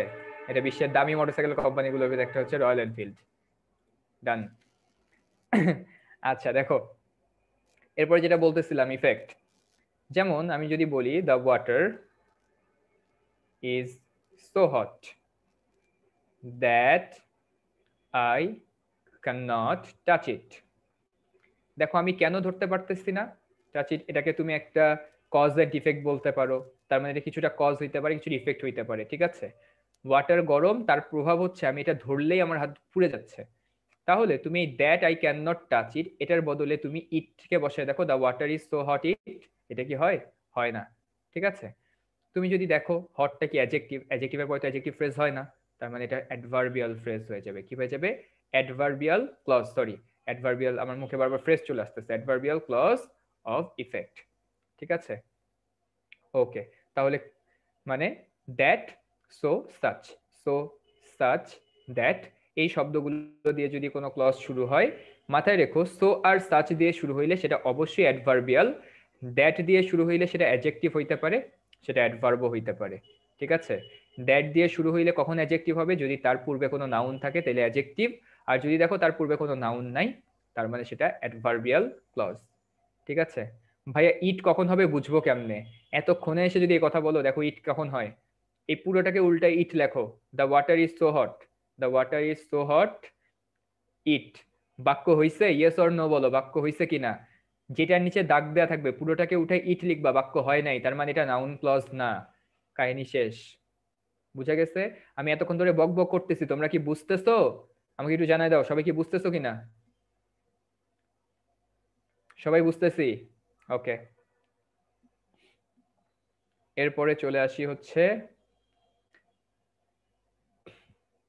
দেখো কন্ডিশন এরপরে আছে হচ্ছে কন্ডিশন ভাইয়া দ্যাটেরটা আবার বলবেন আচ্ছা। দ্যাট দিয়ে শুরু হলে সেটা তোমার অ্যাজেক্টিভ ক্লজ হইতে পারে, সেটা তোমার নাউন ক্লজ হইতে পারে সেটা তোমার কি হইতে পারে? অ্যাডভার্বিয়াল ক্লজ হইতে পারে। তখন তোমার টাকায় দেখতে হবে দ্যাট দিয়ে শুরু হওয়ার পরবর্তীতে এটাকে ইট দিয়ে রিপ্লেস করা যায় কিনা। যদি যায় সেটা নাউন ক্লজ দ্যাটের পূর্বে যদি কোনো নাউন থাকে, সেটা অ্যাজেক্টিভ ক্লজ আর এই দুইটার কোনোটাই না হইলে সেটা অ্যাডভার্বিয়াল ক্লজ ঠিক আছে? তাও যদি না বুঝো ক্লাসের রেকর্ডটা আরেকবার দেখে নিও। এবার কন্ডিশন আমরা যত কন্ডিশন জানি zero condition first condition second condition third condition প্রত্যেকটা কন্ডিশনালের ভেতরেই তোমার অ্যাডভার্বিয়াল ক্লজ আছে। কোনটা? ইফ যুক্ত যে ক্লজটা কত স্বপ্ন দেখাইছো জীবনে মানুষকে, কত কন্ডিশন দিছো, তাই না? তুমি আসলে আমি তোমাকে ফুলের মালা দিব, কত কিছু করব, কিন্তু কিচ্ছু করো নাই, সব প্রমিস ভাঙছো। এগুলো কি? কন্ডিশনাল এই কন্ডিশনাল যে ইফ যুক্ত অংশটা, এটা হচ্ছে সর্বগ্রাসী কন্ডিশন মানে কি? Adverbial clause adverbial clause of কি বলা হয়? অ্যাডভার্বিয়াল ক্লজ অফ কন্ডিশন এটা তো স্বাধীন ক্লজ চলে গেল প্রিন্সিপাল ক্লজ আর ইফ ইউ কামটা কি? এটা হচ্ছে adverbial clause of condition first of all এর আগে কোনো নাউন নাই। সেকেন্ড অফ অল এটাকে ইটি দিয়ে রিপ্লেস করা যায় না। বাকি থাকল কি? অ্যাডভার্বিয়াল ক্লজ ঠিক আছে? ওকে হ্যাঁ একজন লিখছে, বাবু খাইলে আমি খাব। দেখো, কত এক্সপিরিয়েন্স পোলাপান আমারে বলে আমার নাকি এক্সপিরিয়েন্স আমি এখানে তো তোমরা গুরু আমারা। আমি বড় জোর ইংলিশ শিখাইতেছি তোমাদেরকে। এগুলো তোমাদের থেকেই, তোমাদের কমেন্ট পড়ে শিখি, ঠিক আছে? ওকে ভাইয়া, যদি কোনো হ্যাঁ ভাইয়া, তুমি না খাইলে আমিও খাব না। হ্যাঁ এই তো। মনির, কি সুন্দর বলছে মানে একদম অভিজ্ঞতা সবার চুয়ায় চুয়ায় পড়তেছে। বাহ! ভাইয়া ক্লজ পড়তেছি নাকি কন্ডিশনাল পড়তেছি ভাইয়া? ক্লজের ভিতরেই পড়তেছি, ঠিক আছে? হ্যাঁ একদম ক্রিঞ্জ দিচ্ছি। দেখো, এরপরে বাকি থাকে আরেকটা জিনিস, সেটা কি? তোমার কন্ট্রাস্ট কন্ট্রাস্ট মানে কি? বৈপরীত্য। তো কন্ট্রাস্টের আরেকটা নাম আছে, যেটাকে আমরা কনসেশন বলি। কি বলি? কনসেশন কন্ট্রাস্ট বা কনসেশন যেটা মানে বৈপরীত্য বুঝায়। বৈপরীত্য বলতে, আগে আমার কথা শুনো। দৌ হি ইজ পোর যদিও সে গরিব হি ইজ অনেস্ট তো এই বাক্যের ভিতরে তোমাদের কি মনে হয়? বাক্য দুইটা কি আসলে বিপরীত? বলো, তোমাদের কি মনে হয়? কেউ গরিব হইলে কি সৎ হইতে পারে না? আমরা এই বাক্যগুলোকে কেন বিপরীত বানাইছি? তার মানে আমাদের কিন্তু গ্রামারে বা সাহিত্যে অনেক সমস্যা আছে। এই সমস্যাগুলোকে আমরা এখন পর্যন্ত ইগনোর করতে পারি নাই। ভবিষ্যতে করতে হবে আমাদের ইগনোর ঠিক আছে? যেমন, কেউ একজন গরিব, তার মানে যে সে সৎ হবে না, এটা আমরা ধরে রাখছি। তো এইসব ভুল, এগুলো ভুল স্টেরিওটাইপিং এখান থেকে আমাদের বের হইতে হবে। সেই জন্য আমি তোমাদেরকে বোঝানোর জন্য উদাহরণটা দিচ্ছি বাট আমরা যখন উদাহরণ দিব, এগুলোকে অ্যাভয়েড করার চেষ্টা করতে হবে। আমাদের সাহিত্যে অনেক উল্টাপাল্টা কথা লেখা আছে। সাহিত্যে যত দুর্বল বিষয় দুর্বল জিনিস, যেগুলো সফট সেগুলোকে নারীর সাথে তুলনা করা হয়। আর যেগুলো শক্তিশালী পাওয়ারফুল তাদেরকে পুরুষের সাথে তুলনা করা হয়। এই ফাত্রামি গুলো যুগে যুগে বিভিন্ন কবি সাহিত্যিক করে গেছে। যত ভালো কবি সাহিত্যিকই হোক না কেন, তোমার রবীন্দ্রনাথ ঠাকুর ভালো ছিলেন। তিনি এই ধরনের কোনো স্টিরিওটাইপিং করে নাই। কিন্তু হুমায়ুন আহমেদ বলো, ইমদাদুল হক মিলন বলো, এখন রিসেন্ট যত কবি সাহিত্যিক আছে, সবাই এই ধরনের ফাত্রামি বা মিসোজিনিস্ট মার্কা কাজগুলো সাহিত্যের ক্ষতি করে গেছে, অপূরণীয় ক্ষতি। ঠিক আছে? তো এই জিনিসগুলো যাই হোক, তাও তোমাদেরকে বোঝানোর জন্যই বলতেছি। ধরে নিলাম আমরা হি ইজ পোর তার মানে তার অসৎ কাজ করার কথা, তারপরে সে অনেস্ট এই জন্য এখানে দো শব্দটা বসছে, তাহলে চিনবো কেমনে? এখানে though although even if তারপর হাউ এভার তারপরে হোয়াট এভার এই শব্দগুলো যদি তোমার কোনো ক্লাউজের শুরুতে বসে, তার মানে ধরে নিবা, দুটো বাক্যের ভিতরে বৈপরীত্য বুঝাচ্ছে। তখন সেটা অ্যাডভার্বিয়াল ক্লজ হয়ে যাবে। সেটাকে বলা হয় অ্যাডভার্বিয়াল ক্লজ অফ কন্ট্রাস্ট কিংবা কনসেশন ঠিক আছে? ওকে এরপরে যেমন আমি তোমাকে উদাহরণ যদি দেই ইভেন ইফ ইট রেইনস যদি বৃষ্টি হয় মানে বৃষ্টি হলেও আমি বাইরে যাব, এটা কি বলব? Even if it rains I will go তাহলে নর্মালি কি, এই বাক্যটা দেখে তো বুঝতেছি, বৃষ্টি হলে তো আমার ভিতরে থাকার কথা। কাঁথা গায়ে দিয়ে খিচুড়ি খাওয়ার কথা, গান শোনার কথা, বাইরে কেন বের হব? বাইরে বের হওয়ার তো কথা না, মানুষ আবহাওয়া খারাপ হইলে বাসায় থাকে। তাহলে আমার বাইরে যাওয়া আর বৃষ্টি হওয়া দুইটার ভিতরে একটা বিপরীত টোন আছে। এই দুইটাকে যুক্ত করার জন্য ইভেন ইফ বসছে। দ্যাট ইজ ওয়াইট একটা অ্যাডভার্বিয়াল ক্লজ এটাকে বলা হয় অ্যাডভার্বিয়াল ক্লজ অফ কন্ট্রাস্ট ঠিক আছে? আরেকটা উদাহরণ দিই, দেখো। Whatever happens whatever happens যাই হোক না কেন I will not tell lies যাই হোক না কেন, আমি কখনো মিথ্যা বলব না। তার মানে এখানে সম্ভাবনা কি? অনেক কিছু ঘটে গেলে আমি মিথ্যা বলে মানে নতি স্বীকার করতে পারি, কিন্তু তারপরে আমি করব না। তাহলে হোয়াট এভার দিয়ে সূচিত হইল, বৈপরীত্য বুঝাচ্ছে এটা একটা অ্যাডভার্বিয়াল ক্লজ তাহলে দেখো, বুঝতেছে কিনা? ভাই অপশনে শুধু অ্যাডভার্বিয়াল ক্লজই থাকবে। এখন তোমাদেরকে বোঝানোর জন্য এই কন্ট্রাস্ট মন্ট্রাস্ট হ্যান ত্যান এগুলো বলতেছি। তার আগে দেখো, বুঝছি কিনা? Though he is police he is honest এটা ভুল কিনা? মাশাল্লাহ সুন্দর কথা বলছো ভাই। সেন্স অফ হিউমার বেশ ভালো। আল্লাহ মঙ্গল করুক। বুঝেছি সবাই? তাইলে দেখি আরেকটা পোল লঞ্চ করি তোমাদের উদ্দেশ্যে। So poll number three on your screen সবাই একটু ঝটপট উত্তর করে ফেলো, poll number three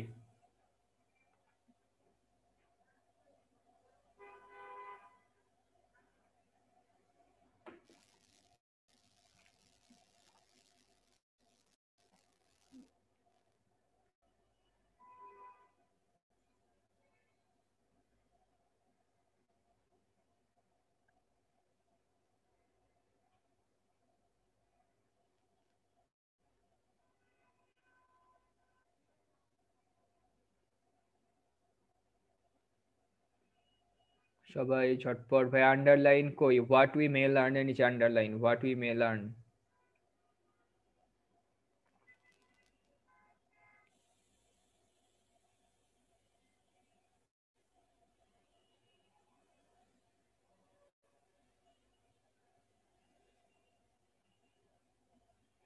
last ten seconds Tawfiq Elahi লিখছো, ভাইয়া, দুবাই থেকে ক্লাস করতেছি। ধন্যবাদ। তুমি আমার জন্য উটের মাংস আর খেজুর পাঠাবা, ঠিক আছে? ভার্সিতে চান্স পাইলে কি পাঠাবা? উটের মাংস, দুম্বার মাংস, সাথে খোরমা খেজুর পাঠাবা বেশি করে। দোয়া থাকল তোমার জন্য। টাইম ইজ আপ আচ্ছা দেখো, ছেলে পেলে যে ফাঁদে পা দেয়, এটা তার আরেকটা বড় জায়গা। মাত্র তেত্রিশ পার্সেন্ট স্টুডেন্ট কারেক্ট উত্তর করেছ। কে? মাত্র তেত্রিশ পার্সেন্ট স্টুডেন্ট বাকি সাতষট্টি পার্সেন্টের উত্তর ভুল। এটা কোন সেন্সে তোমার অ্যাডভার্বিয়াল ক্লজ হয়? আমাকে প্রথম কথা অন্য সবকিছু বাদ, তোমাদেরকে কি শিখাইছি? উই রিড ইট এই বাক্যটা সঠিক নাকি ভুল? আমাকে বলো। এই বাক্যটা ভুল, এই কথাটা একজন বলো যে, ভাই, বাক্যটা হয় নাই। ভাই, বলো যে, বাক্যটা হয় নাই, আমার একজন বলো। ও ভাই, মুঝে কই মারো, কই মুঝে বাতাও, এই বাক্যটা ভুল। আমাকে একজন বলো ভাই, বাক্যটা ভুল। না ভাই, কারও বলতেই হবে বাক্যটা ভুল, নাইলে এটা কেমনে ভাই এটা মেইন ক্লজ অ্যান্সার করছ ভাই। মেইন ক্লজ কেমনে? ওয়ার্ড দিয়ে শুরু হইলে মেইন ক্লজ হয়। এটা রিডটা একটা ভার্ব ভার্বের পরে অ্যাডজেক্টিভ ক্লজ হয় হয় না। তাহলে আমি রিপ্লেস করতে পারছি এটা নাউন ক্লজ এটা অন্য কিছু কেমনে হবে ভাই? অ্যাডভার্বিয়াল ক্লজ কি মনে করছ? ওই যে তখন একটা ছেলে প্রশ্ন করছিল না, ওই উদাহরণটা আবার দিচ্ছি। ভার্বের পরে কিছু থাকলেই সেটা অ্যাডভার্ব হয়। আই লাভ ইউ এটা অ্যাডভার্ব অ্যাডভার্ব না তো তাইলে, এটা কি? এটা তোমার অবজেক্ট তেমনি উই রিড হোয়াট আমরা কি পড়ি? যেটা আমরা শিখি, এটা কি অবজেক্ট না? আমি শুরুতে কি বলছিলাম? একটা বাক্যের অবজেক্ট হিসেবে যদি একটা সম্পূর্ণ বাক্য বসে, সেটা নাউন ক্লজ তো অ্যাডভার্বে কেন যাব? জাদুঘরে কেন যাব? এটা পড়ছো? আজকে থেকে পড়লাম আমরা অ্যাডভার্বে কেন যাব? আগে আমরা দেখব ইট দিয়ে রিপ্লেস করা যায় কিনা।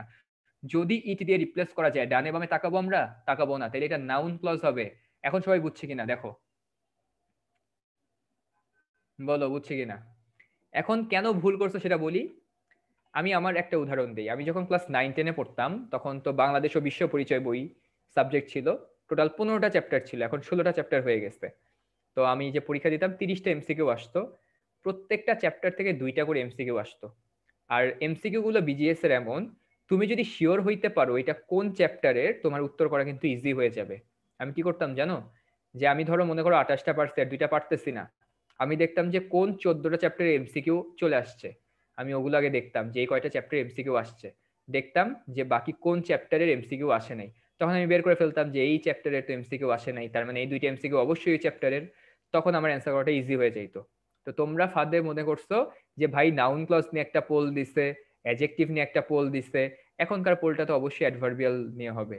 তো এত বুদ্ধি নিয়ে ঘুমাও কেমনে ভাই আমারে বলো?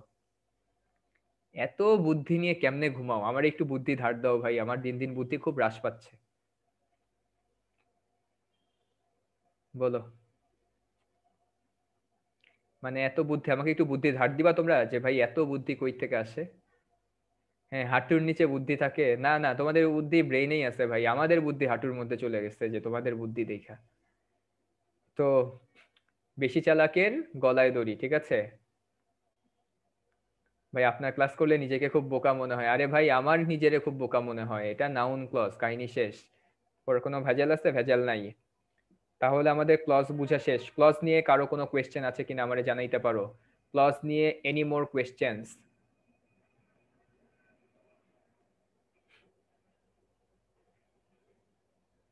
হোয়াটের জায়গায় দ্যাট থাকুক, যাই থাকুক, তোমার মাথা থাকুক ওটা তো অবজেক্ট অবজেক্ট তো। তাহলে বুঝছে সবাই? তাহলে বলো, সারা জীবন ফ্রেশ ক্লজ অনেক কঠিন লাগছিল। তো ফ্রেজটা বাদ দিলাম। ক্লজ এই টপিকটাকে কেমন লাগল?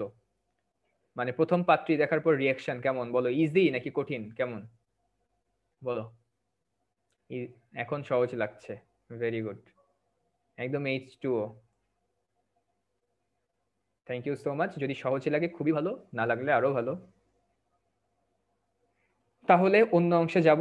তার আগে তোমাদের একটু ব্রেক দিয়ে নেই। ব্রেক থাকুক। এখন বাজে আটটা ছাব্বিশ। Will start again at eight thirty one আটটা একত্রিশ থেকে বাকি অংশ নিয়ে আলোচনা করব, ঠিক আছে? ভাই, নির্বাচনে দাঁড়াবো কবে? তোমাদের ভোটার আইডি কার্ড সবার হয়ে গেলেই নির্বাচনে দাঁড়াবো, চিন্তা করতে হবে না।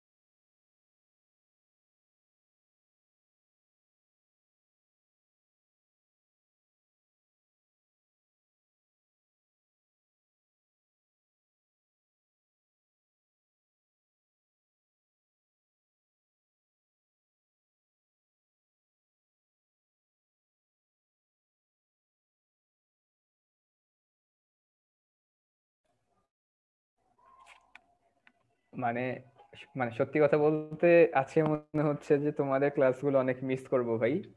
এত সুন্দর কথা বলছো ইতি। মানে আমি হাসলাম এতক্ষণ মিউট করে, বুঝছ?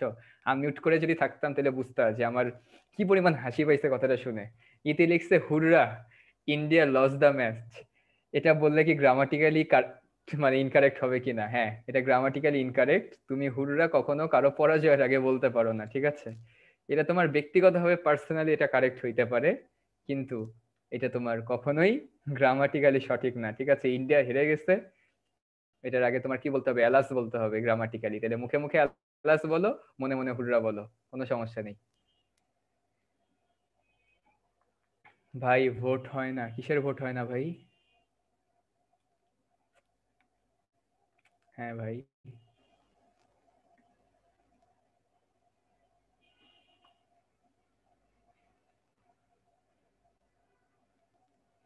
ভাই, নির্বাচনে পাশ করাই দিমু, চিন্তা করেন না, আগে চান্স পাওয়াই দেন। না, আমি তো কোনো শর্তের ভিতরে যাব না। আমার ভক্তরা হবে হচ্ছে নিঃস্বার্থ ভক্ত তাদের কোনো শর্ত থাকবে না, ঠিক আছে? নাহলে ফ্যান ফলোয়ার কেমনে? তুমি যারে ভোট দাও, সে কি তার বিনিময়ে তোমার কিছু দেওয়া যায়? যে বলে যে আপনার একটা বাসা করে দিলাম, সেটা তো হয় না আমি সেই রকম।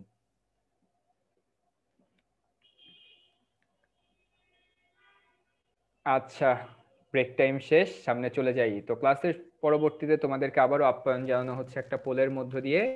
তো পোল নাম্বার ফোর সবাই একটু ঝটপট উত্তর করে ফেলো, ঠিক আছে? তো which of the following is use as masculine form অর্থাৎ ছেলে কোনটা? নিচের ওয়ার্ডগুলোর ভিতরে।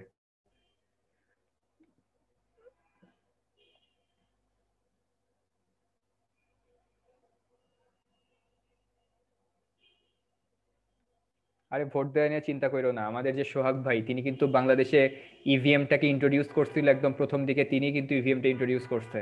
সো কেমনে ভোট দিতে হবে এগুলো নিয়ে কোনো টেনশন করতে হবে না। খালি মানে আস্থা রাখো বাবলা ভাই আর রাজা ভাইয়া, তাইলেই হবে।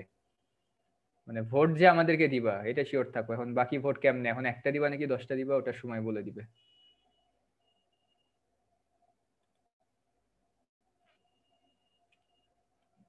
ঝটপট উত্তর করো। দশ সেকেন্ড।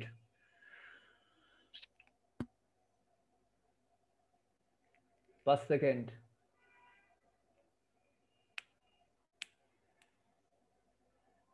টাইম ইজ আপ অনেকে কারেক্ট উত্তর করেছে, ধন্যবাদ। উনষাট পার্সেন্ট স্টুডেন্টের উত্তর সঠিক হয়েছে thank you so much the answer goes for number A emperor emperor শব্দটা তোমার কি একটা ম্যাসকুলিন ফর্ম যার অর্থ সম্রাট? এম্পেরর থেকে তুমি যদি এটাকে ফেমিনিন করো, তাহলে শব্দটা দাঁড়ায় এমপ্রেস ঠিক আছে? এমপ্রেস তো তোমাদের ভেতরে সাঁত্রিশ জন স্টুডেন্ট বলেছ ব্রাইড নাকি একটা ছেলে শব্দ? তো ওই সাঁত্রিশ জনকে একটু ধরে নিয়ে আসো তো। তারা যদি ছেলে হয়, তাদেরকে একটু ব্রাইডাল শাওয়ার দিয়ে দেই। ধরে নিয়ে আসো, একটু তাদেরকে ব্রাইডাল শাওয়ার দিয়ে একটু ব্রাইডের মেকআপ করে দাও। এই, এখানে কেউ মেকআপ আর্টিস্ট আছো কিনা? যে ভাইয়াগুলো বলছে যে ব্রাইড একটা ছেলে শব্দ, তো তাকে একটু ব্রাইডাল মেকআপ করে দেওয়ার ব্যবস্থা করে দেওয়া যায় কিনা একটু দেখো তো তো। তাদের একটু ব্রাইট সাজের খুব শখ আছে। হ্যাঁ কোন সাঁত্রিশ জন? হ্যাঁ এখানে সাইমা আছে, তামান্না আছে যে মেকআপ আর্টিস্টগুলা। আমি ওদেরকে একটু ট্র্যাক করার ব্যবস্থা করতেছি যে কারা? তাদের কিন্তু খুব তাড়াতাড়ি একটা ব্রাইডাল মেকআপের দরকার হবে। তোমরা একটু রেডি থাকো, ঠিক আছে? একটা সুন্দর মেকআপ দিবা। ওদের জন্য ম্যাচিং করে একটু লেহেঙ্গা টেহেঙ্গা আনানোর ব্যবস্থা করো, ঠিক আছে? ওকে একদম ম্যাচিং লেহেঙ্গা আনবা ওদের জন্য। আর ওদের জন্য একটা গ্রুমও খুঁজে দিও, ঠিক আছে? ওই সাঁত্রিশটা যদি ছেলে হয়, তাদের জন্য একটা করে গ্রুম খুঁজে দিও। যাই হোক ব্রাইড হচ্ছে তোমার স্ত্রীলিঙ্গ, এটা ফেমিনিন আর ম্যাসকুলিন হচ্ছে গ্রুম তারপরে মেয়ার এটা কিন্তু মারে না, এটা মেয়ার মেয়ার মানে কি? মেয়ে ঘোড়া। তো ছেলে ঘোড়ার ইংলিশ কিন্তু হর্স না, ছেলে ঘোড়ার ইংলিশ হচ্ছে স্ট্যালিয়ন স্ট্যালিয়ন মানে ছেলে ঘোড়া। আর হচ্ছে মেয়ার মানে কি? মেয়ার মানে হচ্ছে মেয়ে ঘোড়া, ঠিক আছে? আর এদের কমন হচ্ছে হর্স ঠিক আছে? এরপরে হচ্ছে নান নান মানে কি? ওই যে এটা কিন্তু আবার ওই হরর মুভির নান মনে করো না। নান মানে হচ্ছে মানে কি বলে? ধর্মীয় প্রচারক যারা নারী হয় তো নান হচ্ছে এটা ফেমিনিন ম্যাসকুলিন হচ্ছে মঙ্ক ম্যাসকুলিন কি মঙ্ক এটা ম্যাসকুলিন এটা ফেমিনিন কাহিনী শেষ। তাহলে আমরা মোটামুটি চার রকমের জেন্ডারের কথা জানি। তাইলে কি জেন্ডার চেঞ্জ করা শিখতে চাও? বলো। এখন কি সবাই আমরা একটু জেন্ডার চেঞ্জ করব নাকি? বলো। আমরা কি এখন একটু জেন্ডার চেঞ্জ করব? হর্স কি থার্ড জেন্ডার এই, সবাই কি সুন্দর লিখতেছে জেন্ডার চেঞ্জ করব। আচ্ছা বলো, কোন জেন্ডার হইতে চাও?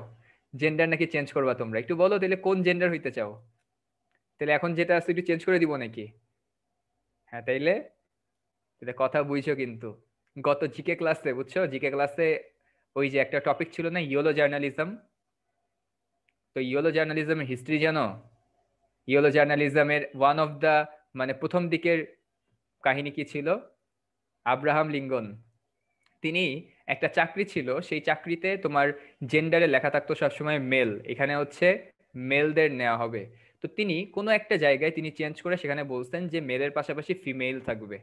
তো পরের দিন আমেরিকার একটা মানে বিখ্যাত দৈনিক জনপ্রিয় পত্রিকা তারা হেডলাইন দিছে যে জেন্ডার চেঞ্জ করলেন আব্রাহাম লিঙ্কন। ওই যে সময় টিভি যেগুলো করে না যে কি করলেন সাকিব খান, অপু বিশ্বাস, দেখুন ভিডিও সহ। এটাকে ইয়োলো জার্নালিজম বলা হয়। তার একটা অন্যতম প্রথম দিকের উদাহরণ হচ্ছে, এই তো জেন্ডার চেঞ্জ করলেন আব্রাহাম লিঙ্কন। কিন্তু তিনি কি আব্রাহাম লিঙ্কন জেন্ডার চেঞ্জ করছেন? না। তার নামের পাশে আগেও হি লিখতাম এখনও হি লিখি।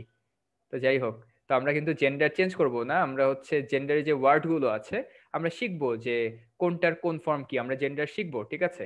কোনটা, কোন জেন্ডার তো জেন্ডারের ভিতরে চার রকমের জেন্ডার আছে। একটা আমরা ম্যাসকুলিন বলি, একটাকে ফেমিনিন বলি, একটাকে কমন বলি, একটাকে নিউটার বলি। অর্থাৎ যার কোনো জেন্ডার হয় না। যেমন চেয়ার টেবিল বই, খাতা, কলম, এর জেন্ডার হয় না নিউটার যেগুলো সবার ক্ষেত্রে ব্যবহৃত হয় স্টুডেন্ট টিচার এগুলো হচ্ছে কমন যেগুলো মেয়েদের গার্ল ব্রাইট এগুলো হচ্ছে ফেমিনিন ম্যাসকুলিন কোনগুলো? বয় ম্যান এগুলো ম্যাসকুলিন এগুলো আমরা জানি। ঠিক আছে? তাহলে এখানে ম্যাসকুলিনের মানে বেশ কিছু ইম্পর্টেন্ট জেন্ডারের এখানে বক্স দেওয়া আছে, তোমরা এগুলো একটু পড়ে নিতে পারো, ঠিক আছে? মানে কখন ইএসএস যুক্ত করবা, তারপর হচ্ছে কখন ইএসএস কখন হচ্ছে তোমার মানে নিত্য ফেমিনিন ওয়ার্ড কোনগুলো, এগুলো তোমরা পড়ে নিলেই কিন্তু পারবা, ঠিক আছে? তাহলে এগুলো একটু পড়ে নিও। গেল। এরপরে নতুন একটা টপিকে চলে আসে আর্টিকেল তো আর্টিকেল থেকে তোমাদের আর্টিকেল ছোটবেলা থেকে পড়ে আসছে অনেক সহজ নিয়ম, একটু এক্সেপশনাল কিছু নিয়ম তোমাদেরকে শিখাই দেই, ঠিক আছে? হ্যাঁ এই বক্সগুলো পড়লেই হয়ে যাবে। এই বক্সগুলো পড়লেই হয়ে যাবে তোমাদের ইম্পর্টেন্ট এগুলোই। এখন আর্টিকেলের কিছু নিয়ম দেখো। তো আর্টিকেলের প্রথম নিয়ম, যে কোনো বাদ্যযন্ত্র, যে কোনো বাদ্যযন্ত্রের নামের আগে আর্টিকেল হিসেবে দা বসে। যেমন দেখো she plays the flute she plays the flute তারপরে he can play the guitar ঠিক আছে? তো সে গিটার বাজাইতে পারে। এই গিটার বাজানো মানে আবার অন্য গিটার মনে করো না, ঠিক আছে? মানে বাদ্যযন্ত্র গিটার, যাই হোক। যে কোনো বাদ্যযন্ত্র থাকলে তার আগে আর্টিকেল হিসেবে তোমার টি বসে তো ফ্লুট মানে হচ্ছে কি? বাঁশি। সে বাঁশি বাজাইতে পারে, সে গিটার বাজাইতে পারে, যে যা বাজাক। বাঁশি বাজাক, গিটার বাজাক, অন্য যে কোনো অর্গান বাজাক না কেন, বাদ্যযন্ত্র কথাটার আগে আর্টিকেল হিসেবে কি বসে? দা বসে, কাহিনী শেষ। দ্বিতীয় কথা, দেখো, তুমি কারোর ঠিকানায় চিঠি লিখতেছো, ঠিক আছে? কারোর ঠিকানায় চিঠি লিখতেছো, আকাশের ঠিকানায়, তারপর হচ্ছে হৃদয়ের ঠিকানা, মাটির ঠিকানা। ঠিকানায় যদি কখনো দেখো, রোড কথাটা উল্লেখ আছে। কি কথা? রোড কথাটা, তাহলে তার আগে আর্টিকেল হিসেবে দা বসে। ঠিক আছে? যদি রোড না থেকে, সেখানে যদি স্ট্রিট অথবা তোমার এভিনিউ কথাটা উল্লেখ থাকে, ঠিক আছে? তখন তার আগে কোনো আর্টিকেল বসে না। ঠিক আছে? তাহলে রোড আর স্ট্রিট এভিনিউ এই দুটোর ভিতরে পার্থক্য কি? রোড মানে যে কোনো রাস্তা যেখান দিয়ে যানবাহন চলাচল করে। আর স্ট্রিট এভিনিউ বলতে কি বোঝায়? সেই সকল রাস্তাকে বোঝায়, যার দুই পাশে লোকালয়, দুই পাশে বাজারঘাট, ঠিক আছে? এগুলো তোমার স্ট্রিট কিংবা এভিনিউ উদাহরণ যদি দেই, দেখো I live in the Mirpur road যদিও আমি মিরপুর রোডে থাকি না, আমি মিরপুর থেকে অনেক দূরে থাকি বাট উদাহরণ দেওয়ার জন্য বলতেছি। মিরপুর রোডে রোড কথাটা উল্লেখ আছে, তাই আর্টিকেল হিসেবে দা বসছে। কিন্তু আমি যদি বলি I live in Manik Mia avenue আমি মানিক মিয়া এভিনিউ থাকি না, এটা ভিআইপিদের এলাকা, ঠিক আছে? I live in Manik Mia avenue তাইলে দেখো এভিনিউ কথাটা উল্লেখ থাকলে তার আগে কিন্তু আর্টিকেল বসে না। তাহলে বি ভেরি কেয়ারফুল রোড কথাটা উল্লেখ থাকলে আর্টিকেল বসবে। স্ট্রিট কিংবা এভিনিউ কথাটা উল্লেখ থাকলে আর্টিকেল বসবে না। বুঝা গেছে? ওকে তারপরে হচ্ছে আমরা পরের নিয়মে যদি চলে যাই, দেখো বাদ্যযন্ত্রের কথাটা গেল। এর পরের নিয়মটা, দেখো এই নিয়মটা অনেকেই জানো, কিছু কিছু দেশের নামের আগে আর্টিকেল হিসেবে দা বসতে পারে, কিছু কিছু দেশের আগে কখনোই আর্টিকেল বসে না। উদাহরণগুলো যদি দেখি, দেখো বাংলাদেশ, চায়না, ইন্ডিয়া, জাপান, এই দেশের আগে কখনোই তোমার আর্টিকেল বসে না। কাদের আগে আর্টিকেল বসে? ইউএস এর আগে আর্টিকেল বসে ইউএই এর আগে আর্টিকেল বসে মালদ্বীপসের আগে আর্টিকেল বসে ফিলিপাইন্সের আগে আর্টিকেল বসে নেদারল্যান্ডসের আগে আর্টিকেল বসে ইউকের আগে আর্টিকেল বসে। তাহলে কেমনে বুঝব কার আগে বসে, কার আগে বসে না? যেই সকল দেশের নাম দেখতে সিঙ্গুলার কিংবা কোনো সমষ্টিবাচক নাম না, তাদের আগে কোনো আর্টিকেল বসে না। চায়না এটা দেখতে প্লুরাল লাগে না। ইন্ডিয়া দেখতে প্লুরাল লাগে না। কিন্তু খেয়াল করে দেখো ইউনাইটেড স্টেটস অনেকগুলো স্টেটের সমষ্টি, নাম দেখে বোঝা যাচ্ছে। ইউনাইটেড আরব এমিরেটস প্লুরাল নামটা। মালদ্বীপস প্লুরাল লাগে দেখতে। নেদারল্যান্ডস ফিলিপাইন্স প্লুরাল লাগে। ইউনাইটেড কিংডম অনেকগুলো রাজ্যের সমষ্টি। অর্থাৎ যেই সকল দেশের নাম দেখতে প্লুরাল মনে হয় কিংবা সমষ্টিবাচক মনে হয়, তাদের আগে আর্টিকেল হিসেবে দা বসে। ঠিক আছে? বুঝে গেছে কিনা? এখন সবাই বুঝেছ কিনা? যে সকল দেশের নাম সমষ্টিবাচক কিংবা প্লুরাল তাদের আগে দা বসে, অন্যথায় দা বসে না।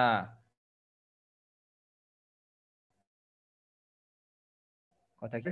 ওকে ভাই সুইডেন এখন তোমরাই বলো সুইডেন আগে কি দা বসাবো? ইয়েস অর নো বলো। সুইডেন আগে দা বসাবো কিনা? ইয়েস অর নো সুইডেন আগে দা বসাবো কিনা বলো? সুইডেন আগে দা বসাবো না। আমাকে বলো রাশিয়ার আগে দা বসাবো কিনা? রাশিয়ার আগে। রাশিয়ার আগে দা বসাবো? রাশিয়ার আগে দা বসাবো না। কিন্তু যদি থাকে সোভিয়েত ইউনিয়ন দা বসাবো? বলো সোভিয়েত ইউনিয়নের আগে কি দা বসাবো? ইয়েস সোভিয়েত ইউনিয়ন আগে দা বসাবো। কারণ ইউনিয়ন মানে হচ্ছে সমষ্টি বোঝাচ্ছে। এক্স্যাক্টলি সোভিয়েত ইউনিয়ন থাকলে তার আগে দা। রাশিয়া থাকলে তার আগে দা না।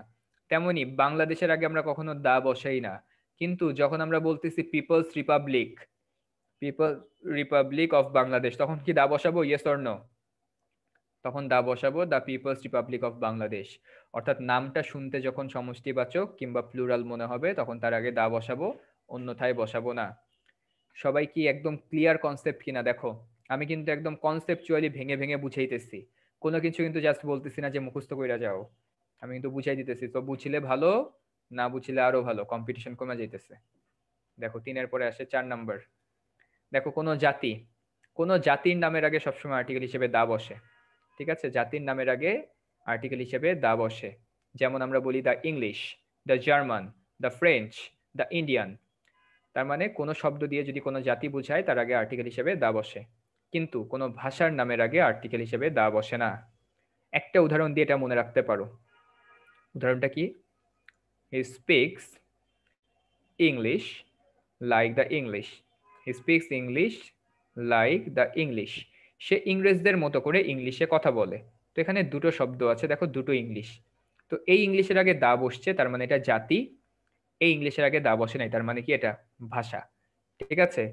তার মানে ইংলিশ দিয়ে যখন জাতি বোঝাচ্ছে, তার আগে আর্টিকেল বসছে। যখন ভাষা বুঝাইছে, তার আগে আর্টিকেল বসে নাই। তেমনই সেম কথাটা বলতে পারো। He speaks Bengali like the Bengalis তার মানে সে বাঙালিদের মতো করে বাংলায় কথা বলে। কাহিনী শেষ। কিন্তু এখানে আবার এক্সেপশন আছে।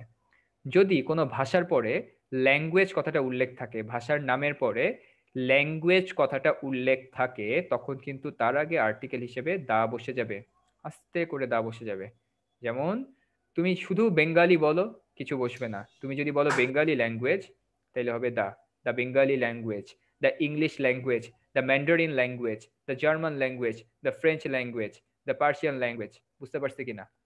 বলো।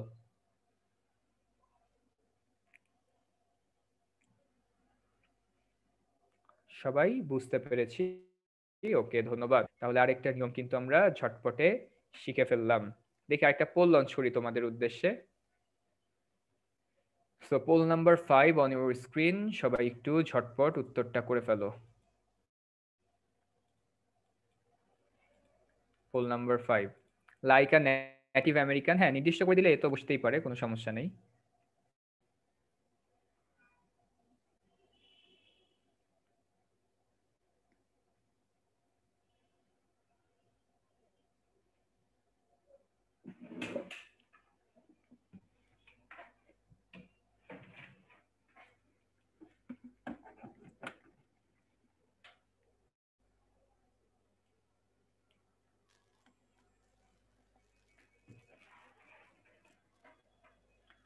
Liva hundred percent sure. দেখি কতজন হান্ড্রেড পার্সেন্ট শিওর। এটা তো ডিগ্রি, না এটা ডিগ্রি না ভাই, এটা আর্টিকেলেরই নিয়ম। দেখতেছো না দুইটা আর্টিকেল আছে? Last five seconds time is up দুঃখের সাথে জানাচ্ছি, তোমরা যারা হান্ড্রেড পার্সেন্ট শিওর বলেছ, তাদের একজনেরও হয় নাই। অ্যান্সার হবে এ নাম্বারটা মাত্র আঠাশ পার্সেন্ট উত্তর করেছ। মাত্র আঠাশ পার্সেন্ট সঠিক উত্তর করতে পেরেছ, বাকি বাহাত্তর পার্সেন্ট উত্তরে ডাব্বা মেরেছো। অ্যান্সার কি হবে? উত্তর হবে এ নাম্বারটা। এখন দেখো মজা। সবাই কি মনে করছ যে সুপার সুপারলেটিভ ডিগ্রির আগে দা বসে এত সহজ ফল ভাইয়ারা দিচ্ছে, তাই না? আমরা বলি the best the fastest the most beautiful কত কথা বলি আমরা। এটা সাধারণ নিয়ম। এটা আবার একটু ব্যতিক্রমও আছে। ব্যতিক্রম বলতে যদি দেখো কোনো অ্যাজেক্টিভের পরবর্তীতে অফ দ্য টু কথাটা উল্লেখ করা আছে। কি আছে? অফ দ্য টু কোনো নিয়মে যাব না, কিছুতে যাব না। জাস্ট শর্টকাট দেখো অ্যাজেক্টিভের পরবর্তীতে অফ দ্য টু উল্লেখ আছে। তখন অ্যাজেক্টিভটা কম্পারেটিভ ফর্মে চলে যায়। কোন ফর্মে চলে যায়? কম্পারেটিভ এবং তার আগে দা বসে। কি বসে? দা বসে। তাহলে এখানে অ্যাজেক্টিভের কম্পারেটিভ ফর্ম তার মানে ধরেই নিচ্ছে এখানে অফ দ্য টু হবে। তাহলে পরেরটা দা আমরা জানি। আর আমরা জানি যদি অ্যাডজেক্টিভের পরে অফ দ্য টু থাকে, আগে একটা এক্সট্রা করে দা বসে। তার মানে this is the better of the two তেমনি বলতে পারি। Karim is the wiser of the two boys খেয়াল করে দেখো, দুইটা ছেলের ভিতরে করিমই বেশি ওয়াইজার তাহলে এখানে অ্যাডজেক্টিভের পরে অফ দ্য টু আছে। অ্যাডজেক্টিভটা কম্পারেটিভ হয়ে গেছে, তার আগে দা বসছে। কথা কি ক্লিয়ার এটা কিন্তু তোমাদের কম্পারিজন অফ অ্যাডজেক্টিভ বা ডিগ্রি অফ কম্পারিজন যখন পড়ানো হয়েছিল, তখন এটা অবশ্যই পড়ানোর কথা তোমাদেরকে। যে অফ দ্য টু যদি থাকে অ্যাডজেক্টিভটা কম্পারেটিভ হয়ে যায়, তার আগে দা বসে।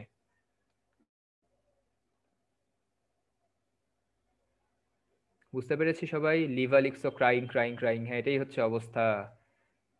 কনফিডেন্টলি ভুল করলাম। হ্যাঁ আমি নিজেই পড়াইছি আমি তো পড়াইছি এই নিয়ম, তাই না? তোমাদের ব্যাচে তো বেশ কয়েকটা ক্লাস নিচ্ছি টু ছাড়া অন্য কিছু থাকলে তো আর কম্পারেটিভ হয় না। কম্পারেটিভ মানে দুইয়ের ভিতরে তুলনা, ঠিক আছে? ওকে গেল কাহিনী। তাহলে আর্টিকেলগুলো তোমরা এখানে দেখতে পারো। আরও অনেক নিয়ম কানুন দেয়া আছে, সেই নিয়মে গেল। এরপরে চলে আসি sequence of tense sequence of tense আবার একটা interesting topic sequence of tense তো বেশ কিছু থিওরি আছে। তো মানে অনেক বিখ্যাত বিখ্যাত কিছু গ্রামারবিদ তারা কিছু থিওরি দিয়েছে। থিওরিগুলো শিখতে চাও? বলো। সিকোয়েন্স অফ টেন্সে কিছু বিখ্যাত থিওরি আছে। এই থিওরিগুলো শিখতে চাও কিনা তোমরা? ইয়েস অর নো একদম তোমার আজ থেকে তিনশো চারশো বছর আগে বিখ্যাত সব তোমার ব্যাকরণবিদরা এইসব থিওরি আবিষ্কার করছিল। এখন মানুষকে পড়ানো হয় না, তাই মানুষ জানে না। তো চলো দেখে নিই একটা থিওরি তো প্রথম এই থিওরিটাকে দেখো মানে একটা প্রিজম আঁকলাম। তো প্রিজমে কি হয়? একটা আলোক রশ্মি প্রবেশ করে, সেটা কি হয়ে যায়? সেটা এরকম করে বিচ্ছুরিত হয়ে যায়, তাই না? এরকম হয়। মানে যেভাবেই ঢুকুক মানে এটা তো আর সমতল দর্পণ না, বা সমতল কাচ না, যে সমানভাবে বের হবে। এটা তো এদিক সেদিক হবেই। তো এটাকে তুমি কি বলতে পারো? এটাকে প্রিজম থিওরি বলতে পারো। তো এটাকে যদি আরেকটু পরিচিত করতে চাও, তাহলে পিঙ্ক ফ্লয়েডের নাম তো শুনছো তোমরা, তাই না? পিঙ্ক ফ্লয়েডের নাম পিঙ্ক ফ্লয়েড যে ব্যান্ড ওদের কিন্তু মানে লগোটা এরকম একটা আলোর রশ্মি ঢুকে একটা রেইনবো হিসেবে বের হয়ে গেল। তো এটাকে প্রিজম থিওরি বলতে পারো অথবা পিঙ্ক ফ্লয়েড থিওরি বলতে পারো that's totally up to you যাই হোক, তো সিকোয়েন্স অফ টেন্সের ক্ষেত্রে বেশিরভাগ শব্দ এই প্রিজম থিওরিটা মেনে চলে। যেমন কথার কথা, আমি সিন্সকে বসাইলাম। আমি সিন্সকে বসাইলাম প্রিজম হিসেবে। তো সিন্সের ভিতর দিয়ে যদি কোনো টেন্স প্রবেশ করে, যেটা প্রেজেন্ট টেন্সে আছে সেটা বের হবে এক টেন্স নিচে নিচে দিয়ে বের হবে। প্রেজেন্ট টেন্সের নিচে কে থাকে? পাস্ট টেন্স পাস্টের ভিতরে কোনটা শুরুতে? পাস্ট ইনডেফিনিট এখন পাস্ট ইনডেফিনিটি যদি এখান দিয়ে ঢুকে তাহলে বের হবে কি হয়ে? তার থেকে এক লেভেল নিচে। পাস্ট পারফেক্ট হয়ে বের হবে। তাহলে এটা হচ্ছে সিন্সের নিয়ম। এটাকে বলা হয় হচ্ছে প্রিজম থিওরি তো বলো তো এই প্রিজম থিওরির জনককে একজন বিখ্যাত ব্যাকরণবিদ। দেখি বলো প্রিজম থিওরির জনককে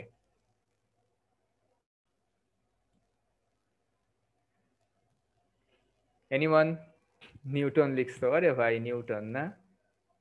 আরে মাশাল্লাহ তোমরা সবাই দেখি জানো ভেরি গুড মানে এতজন কারেক্ট অ্যান্সার করব, এগুলো তো কোনো একটা পোল দিলে তো হইতো না, একটা পোল দিলে দেখতে পারতাম যে কতজন মানে কারেক্ট অ্যান্সার করছ। আরে থ্যাংক ইউ থ্যাংক ইউ হ্যাঁ এই প্রিজম থিওরির জনককে উইলিয়াম শাহরিথান বাবলা পিয়ার, ঠিক আছে? উইলিয়াম শাহরিথান বাবলা পিয়ার, উইলিয়াম শেক্সপিয়ারের ছোট ভাই উইলিয়াম শাহরিথান বাবলা পিয়ার, কাহিনী শেষ। তো এটা হচ্ছে নাইন টেনে বুঝছ একবার মজা করে পড়াইছি আমি ক্লাসের মধ্যে। জাস্ট মজা করে যে, এই যে প্রিজমের মতো এটা কাজ করে। তো তারপরের দিন একদিন লাইভ কোয়েশ্চেনে নিয়ে আসছি, একটা মেয়ে বলতেছে, ভাইয়া, আপনি তো প্রিজম থিওরি পড়িয়েছিলেন? আমি হচ্ছে আমার কোচিং এর টিচারকে যে বলছিলাম যে, ভাইয়া প্রিজম থিওরিটা এরকম? তো কোচিং এর স্যার বলেছেন যে, এরকম কোনো থিওরি নেই, তোমাকে ভুলভাল পড়াই দিচ্ছে গ্রামারে কোনো প্রিজম থিওরি বলে কোনো কথা নাই। তো তারপরে আমি আর কি করি? আমি বললাম গ্রামারে নাই তো কি হয়েছে আমি পয়দা করলাম আজকে থেকে থিওরি তাইলে father of the prism theory বলো। ইংলিশ গ্রামারে যদি কোনো প্রিজম থিওরি থাকে, সেটার জনককে এখন থেকে আমার নাম বলে দিবা। ঠিক আছে? কাহিনী কথা শেষ, এক কথায় কাহিনী শেষ। তাহলে ঠিক আছে? এই থিওরির জনককে আমি? তো এরকম অনেক থিওরি পড়াইছি। করোনা ভাইরাস থিওরি আছে, তারপরে প্রিজম থিওরি আছে, সমতল দর্পণ থিওরি আছে। প্রত্যেকটা থিওরি দিয়ে সিকোয়েন্স অফ টেন্স বোঝানো যায়। ঠিক আছে? আচ্ছা রক্তিম লিখছো ভাই, আমি আগে ইনভেন্ট করছি। ভাই, লাভ নাই। তুমি আগে করো। জগদীশ চন্দ্র বসু তো আগে ইনভেন্ট করছিল তোমার রেডিও তরঙ্গ, কিন্তু রেডিও তরঙ্গের পেটেন্ট কার কাছে? তোমার মার্কনির কাছে। তো কে আগে আবিষ্কার করছে কিচ্ছু যায় আসে না। পেটেন্ট আমার হাতে, ঠিক আছে? এটা যে আবিষ্কার করছি তার প্রমাণ আমার হাতে পেটেন্ট আমার হাতে। সো আমি উইনার হ্যাঁ আমাকে নোবেল ছুঁড়ে মারলো সবাই। আচ্ছা ভাই, এই এই কথা বলার পর কেউ পিটাইলে কি করব? না, পিটাইলে তাইলে বলল যে বাবলা ভাইকে চিনি না, বা আমি তোমাকে চিনি না, আমি এগুলো পড়াই নেই। এগুলো মিথ্যা কথা, এগুলো ষড়যন্ত্র, যাই হোক না কেন, আমরা একটু সিকোয়েন্স অফ টেন্স দেখে নেই। তো প্রথম কথা ওয়েনের কথায় আসি, দেখো। আরে ভাই, অস্কার, নোবেল কিচ্ছু দিতে হবে না। খালি আমার মানে সাথে তোমরা। এরাম সৈনিক যেমন, তোমরা থাকো বাবলা সৈনিক হিসেবে, আর কিছু লাগবে না। ভাইয়া করোনা ভাইরাস থিওরি একটা বিশাল জিনিস এটা আরেকটা বিশাল জিনিস, ওই করোনা ভাইরাস থিওরি আরেকদিন। আজকে আর করোনা ভাইরাস থিওরি হচ্ছে না। দেখো ওয়েন ওয়াটার ওয়েন একটা বাক্যে দুইভাবে ব্যবহৃত হইতে পারে। হোয়েন কখনো একদম সমান্তরালি চলে যাইতে পারে, আবার কখনো রিফ্লেক্ট করতে পারে। ডিপেন্ডস অন দ্য মিনিং দেখো ওয়েন কথাটা যখন তোমার একটা চিরন্তন সত্য কথা বুঝাবে, যে এটা ঘটলে ওইটা ঘটবেই। যেমন, পানিকে তুমি ঠান্ডা করো, এটা বরফ হবেই। তো হোয়েন যখন জিরো কন্ডিশনাল বা যেটা ঘটলে যেটা ঘটবেই এরকম বোঝায়, তখন উভয় অংশে প্রেজেন্ট ইনডেফিনিট টেন্স হয়। কি হয়? প্রেজেন্ট ইনডেফিনিট টেন্স তাইলে when water freezes it turns into ice তাহলে পানিকে যখন ঠান্ডা করব, সেটা কি হয়ে যায়? সেটা বরফ হয়ে যায়। কাহিনী শেষ। ঠিক আছে? কিন্তু ওয়েন দিয়ে যদি এমন কিছু বোঝায়, যেমন দেখো, আমি তোমাকে কখন ফোন দিব? যখন নিউজটা পাবো। তার মানে এটা কি ফরজ কিছু? আমি তো কত নিউজই প্রত্যেক দিন পাই। কতজন আমাকে ফোন দিয়ে কত নিউজ দেয়? তোমরা এখানে এত স্টুডেন্ট সবাই কি ফোন দিচ্ছে আজ পর্যন্ত? দিয়ে বলছি যে, আমি একটা নিউজ পাইছি, একটু শুনে রাখো। তার মানে কি নিউজ পাইলেই যে তোমারে ফোন দিতে হবে, এমন কোনো নিয়ম নাই। তার মানে হোয়েন যদি কখনো এইরকম কোনো বাক্যে বসে, যেটা বাধা ধরা কিছু না একটা ঘটলে আর একটা ঘটতে পারে। তখন আমরা একটা অংশ ফিউচার থাকলে একটা অংশ প্রেজেন্ট টেন্স করব। তার মানে আমি কখন তোমাকে ফোন দিব? যখন আমি নিউজটা পাবো। তাহলে নিউজটা আগে পাবো, এরপরে কল দিব। এটা ফিউচার ইনডেফিনিট হইলে এটা হবে কি প্রেজেন্ট ইনডেফিনিট তাহলে when I get the news I will phone you কথা কি বুঝতে পারতেছো? তাহলে হোয়েনটা কিন্তু দুইভাবে ব্যবহৃত হইতে পারে। দুই সাইডে সেম টেন্স থাকতে পারে, দুই সাইডে সেম নাও থাকতে পারে। কখন থাকবে কখন থাকবে না, এটা কি বুঝছে কিনা সবাই বলো? সবাই বুঝেছি? ওকে থ্যাংক ইউ যদি বুঝে থাকি খুবই ভালো। এরপরে দেখো no sooner had scarcely had hardly had এরা সাত পাকে বাঁধা একটা পবিত্র সম্পর্ক। তো যেইখানে নো সুনার হ্যাড আছে, ওইখানে তার ঘরের বউ দেন মানে কোনো মানে অনুষ্ঠানে দাওয়াত দিছ সে সব পরিবারে চলে আসবে, তার একটাই বউ তাকে নিয়ে আসবে। অর্থাৎ যেখানে তুমি নো সুনার হ্যাড দেখবা, সেখানে তুমি অবশ্যই দেন পাবা। তাহলে নো সুনার হ্যাড আছে সেই বাক্যে অবশ্যই দেন থাকবে। স্কার্সলি হ্যাডকে যদি কখনো দেখো ওই বাক্যে অবশ্যই তুমি কাকে পাবা? হুয়েনকে পাবা? এরাও সাত পাকে বাধা। কিন্তু হার্ডলি হার্ড এই জীবনে একটু মানে এরা ভুল করছে একবার, এরা ভুল করছে কয়বার? দুইবার। ঠিক আছে? হার্ডলি হ্যাডের দুইটা বউ, একটা বিফোর একটা হোয়েন তো এখন বেছে নিতে হবে। কারে বেছে নিবে? প্রথম বউ নাকি দ্বিতীয় বউ? কাউকে বেছে নিবে? বলো। দেখো, যখন যারে দরকার তার সাথেই যায়। কিন্তু এমন জায়গা আসছে যে তাকে বলা হয়েছে যে কোনো একজন বউকে সাথে আনতে পারবেন। সে কারে নিবে? বিফোরকে নিবে নাকি হোয়েনকে নিবে? বলো। ধরো কোনো প্রোগ্রামে নিয়ে যেতে হবে একজন বউকে, কাকে নিয়ে যাবে? বিফোর কে নাকি ওয়েন হোয়েনকে আচ্ছা। অবশ্যই বিফোরকে নিয়ে যাবে কারণ সে প্রথম বউ, ঠিক আছে? আফটার অল সিনিয়রিটি বলে একটা বিষয় আছে। তাহলে দেখো hardly had the train stop এখানে বিফোর আছে, এখানে হোয়েন আছে। অ্যান্সার করব? বি পড়ব নাকি ডিতে পড়ব? বলো।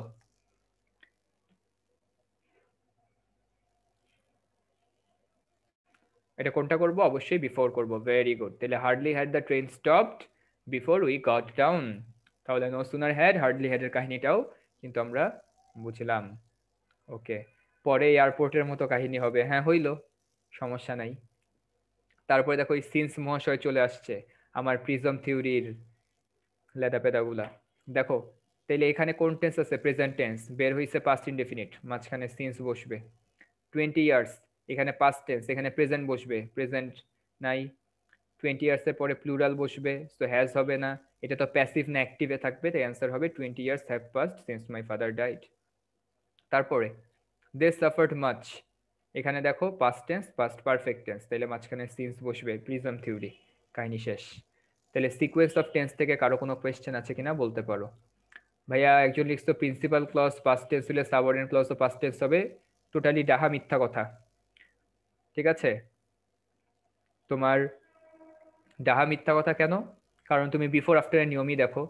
তোমার দুইটা যে সবসময় পাস্ট টেন্স হবে ব্যাপারটা এরকম না। একটা পাস্ট টেন্স মানে আরেকটা তোমার প্রেজেন্ট টেন্সে যাইতেই পারে। কোনো সমস্যা নেই। তুমি যে বইয়ে পড়ছো এটা ভুল কথা। তাহলে সিকোয়েন্স অফ টেন্স নিয়ে কারও কোনো বুঝতে সমস্যা আছে কিনা দেখো। এগুলোর মধ্যে কি আসবে? হ্যাঁ এখানে প্রত্যেকটা ইম্পর্টেন্ট আজকে যা যা পড়া হচ্ছে, সব জীবনমুখী শিক্ষা। এখান থেকে প্রশ্ন আসতে পারে, খুবই ইম্পর্টেন্ট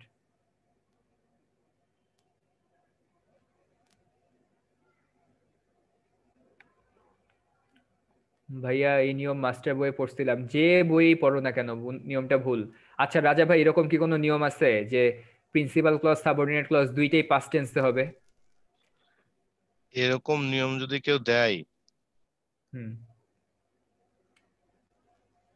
হচ্ছে পেশি শক্তির জোরে হইতে পারে। সেটাই। আচ্ছা।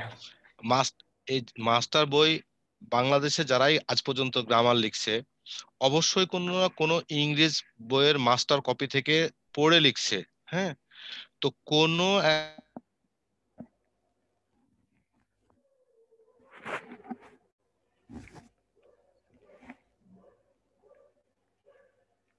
অ্যাসপেক্ট হইতে পারে, এ আর কি। ওকে তারপরে দেখো। এরপরে চলে আসি ট্যাগ কোয়েশ্চেন ঠিক আছে? তাহলে ট্যাগ কোয়েশ্চেনের বিষয়টা নিয়ে আমরা একটু ভেঙে ভেঙে আলোচনা করতে পারি।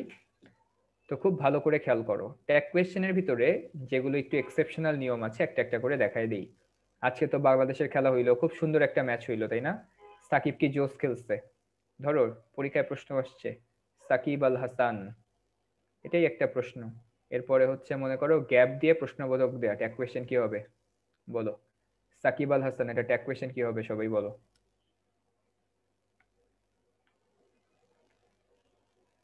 ট্যাগ কোয়েশ্চেন কি হবে? এটা হু কি? হু ট্যাগ কোয়েশ্চেন তাহলে ট্যাগ কোয়েশ্চেন আল্লাহ রে হাউ আর ইউ তারপর হু এগুলো কি? কিছুই হবে না কেন? অবশ্যই হবে। পরীক্ষায় প্রশ্ন আসছে, এগুলো পরীক্ষা আসার প্রশ্ন। সাকিব আল হাসান আমাকে বলো যে কোনো ব্যক্তির নাম সেটাকে কোন পার্সনের সাথে কম্পেয়ার করা হয়? ফার্স্ট পার্সন সেকেন্ড পার্সন নাকি থার্ড পার্সন কার সাথে কল্পনা করা হয় কোনো ব্যক্তির নামকে? থার্ড পার্সনের সাথে। তো থার্ড পার্সনের এগেইনস্টে তোমার পার্সোনাল প্রোনাউন হিসেবে কি কি বসে বলো তো? একটা সিঙ্গুলার থার্ড পার্সনকে বদলায় প্রোনাউন হিসেবে কি কি বসাইতে পারো? হি অথবা সি বসাইতে পারো, তাই তো? হি অথবা সি সাকিব আল হাসান কি হি নাকি সি এটা হি তাহলে অ্যান্সার হয়ে যাবে ইজেন্ট হি ব্যাপারটা কেমন? যে তুমি মনে করো সাকিব আল হাসানকে নিয়ে কথা বলা হচ্ছে, ধরো আমি তোমাকে একটা হিন্টস দিলাম।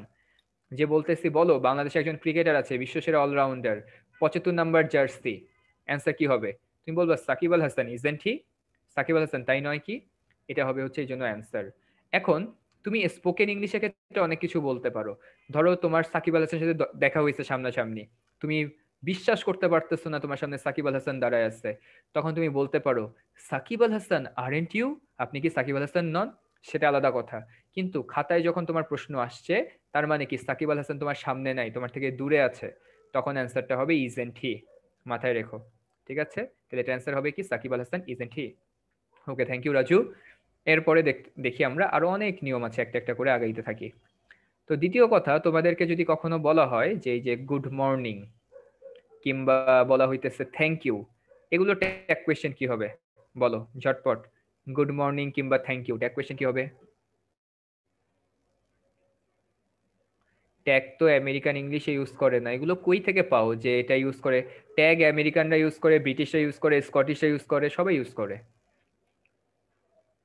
জুবাইয়ের ভেরি গুড হয়েছে। থ্যাংক ইউ জুবাইয়ের জুবাইয়েরটা হয়েছে।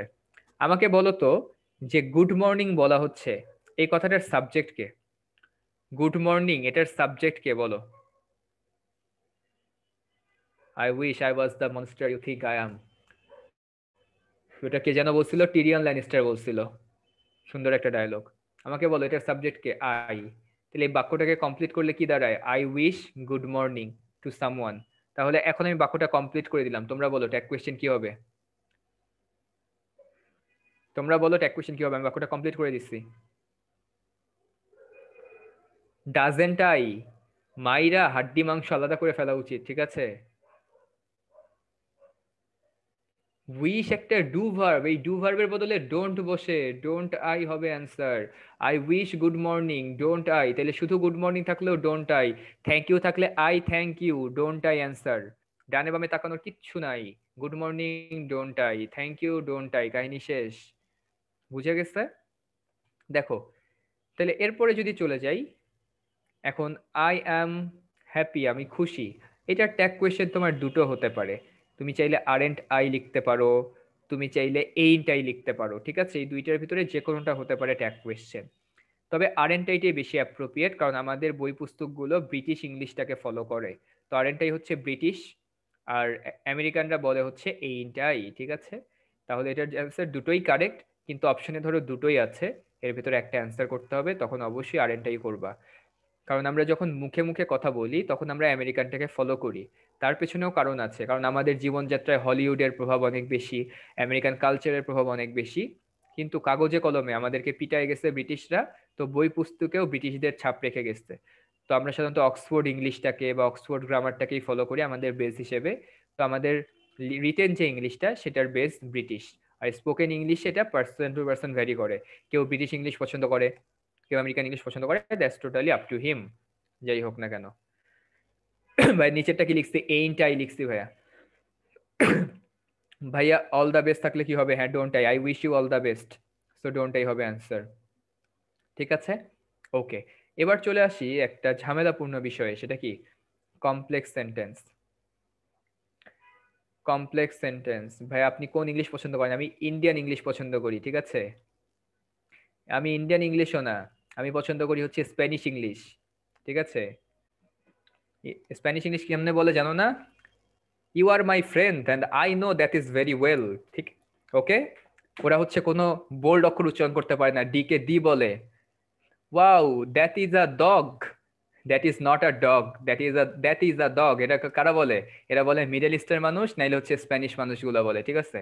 আরে হিরো আলম এতগুলো বললে তো ভালোই তো হ্যাঁ Italy same Italy, Spain, Bulgaria, তারপরে মিডল ইস্ট, এরা সবাই সেম ওইতে কথা বলে।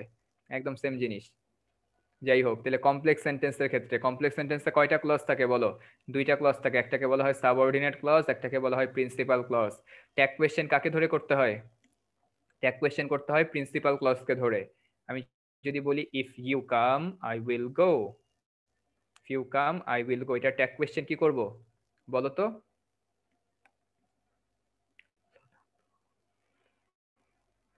হ্যাঁ মাহি লিখছো। হ্যাঁ রোনালদো গোল করলে বলে, লোনালদো, রোনালদো না কিন্তু, লোনালদো। এক্স্যাক্টলি হ্যাঁ এটা ট্যাগ কোয়েশ্চেন কি করব? ওন্ট আই ভেরি গুড এটা কি হয়ে যাবে? Won't I if you come I will go the answer goes for won't I তেমনই হবে, বলো তো it is said that it is said that Hitler is a Hitler was a bad person তাহলে বলো, এটা ট্যাগ কোয়েশ্চেন কি হবে? It is said that Hitler was a bad person tag question কি হবে? একদম পিটায়া হাড্ডি মাংস আলাদা করে ফেলা উচিত। বলো, কোনটা সাবঅর্ডিনেট ক্লজ কোনটা প্রিন্সিপাল ক্লজ এটা চেনার উপায় কি? আমারে বলো একটু সবাই। কোনটা প্রিন্সিপাল ক্লজ কোনটা সাবঅর্ডিনেট ক্লজ চেনার উপায় কি? চেনার উপায় আমাকে বলো।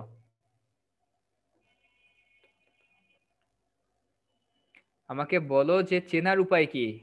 কোনটা প্রিন্সিপাল কোনটা সাবঅর্ডিনেট ক্লজ এই যে, এই শব্দগুলোকে কি বলা হয়? দেখো তো ইফ দ্যাট এদেরকে কি বলা হয়? এদেরকে ক্লজ মার্কার বলা হয়। কি বলা হয়? ক্লজ মার্কার এই নামটা শুনছো তো? এই নামটা শুনছো? যেদেরকে ক্লজ মার্কার বলা হয়, এই নামটা শুনেছো সবাই? ক্লজ মার্কার শব্দটা? ইফ দ্যাট এদেরকে ক্লজ মার্কার বলা হয়। নামটা শুনছি তো সবাই? তো ক্লজ মার্কার সবসময় একটা ক্লজের শেষে বসে। না, শুরুতে বসে। কোথায় বসে? শুরুতে বসে কখনোই শেষে বসবে না। তো কোনো বাক্যে যেই অংশের শুরুতে ক্লজ মার্কারটা থাকে, সেটাকে একটা সাবঅর্ডিনেট ক্লজ বলা হয়। দেখো ইউ কামের আগে ইফ বসছে, তাইলে এটা কি? এটা একটা সাবঅর্ডিনেট ক্লজ আই উইল গোর আগে কিছু বসছে, বসে নাই। তেমনি ইট ইজ সেইড এটার আগে কিছু বসছে, বসে নাই। বসছে কার আগে? Hitler was a bad person আগে। তার মানে এটা কি? সাবঅর্ডিনেট ক্লজ ইট ইজ সেইডটা কি? Principal clause so the answer goes for isn't it তার মানে কোনো বাক্যে যেটা সাবঅর্ডিনেট ক্লস তাকে ধরে ট্যাগ কোয়েশ্চেন বসবে না, কাকে ধরে বসবে? প্রিন্সিপাল ক্লজকে ধরে। কিন্তু কোনো কারণে যদি বাক্যে দ্যাট কথাটা উল্লেখ না থাকে, তখন সাবঅর্ডিনেট ক্লজকে ধরেও ট্যাগ কোয়েশ্চেন হতে পারে। যেমন দেখো it is believed it is believed বানানটা মনে ভুল গেল। আচ্ছা যাই হোক ইট ইজ বিলিভড যাই হোক it is believed you are a decent boy you are a decent boy তাহলে দেখো, এটা ট্যাগ কোয়েশ্চেন হবে আর এন টিউ কেন আর এন টিউ হবে? ভালো করে বুঝো।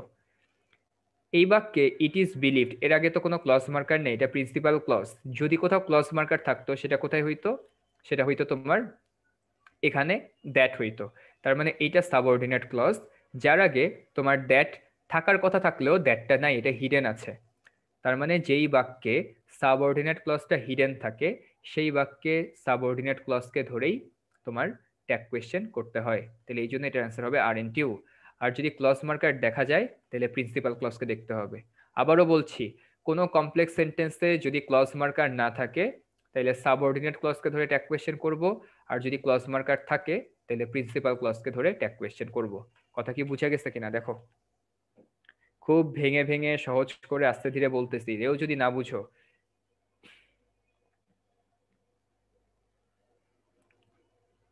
গড ব্লেস ইউ এটার অ্যান্সার কি হবে? গড মে ব্লেস ইউ এটা হবে অ্যান্সার ঠিক আছে? তো এখান থেকে তুমি মে থেকে মে নট লিখবা, এরপরে হিটা বড় হাতে লিখবা। মেইন হি হবে অ্যান্সার গড ব্লেস ইউ এটাকে পুরো বাক্য করলে God may bless you that is why tag কোয়েশ্চেনটা হবে মেইন হি ওকে সবাই কি বুঝেছি কিনা? দেখো আপু ভাইয়ারা, যদি কোনো প্রশ্ন থাকে, প্রশ্ন থাকলে প্রশ্ন করতে পারো, ঝটপট।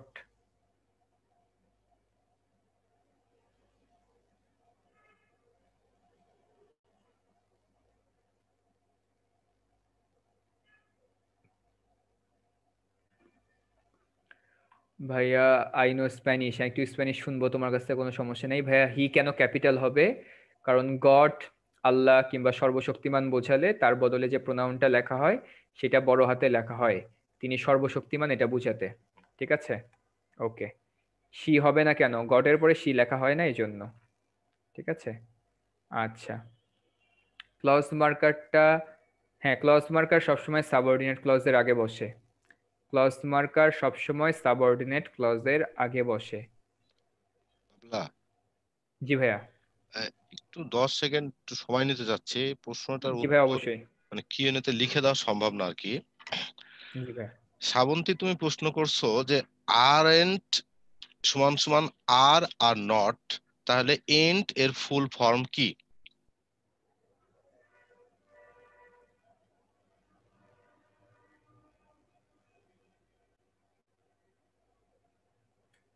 লিখি ডি এ এম এন তখন কি হয়?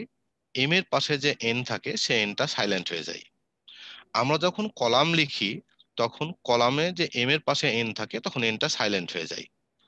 আমরা যখন সলেম লিখি S O L E M N তখন এম এর পাশে যে এন থাকে, সে এনটা সাইলেন্ট হয়ে যায়।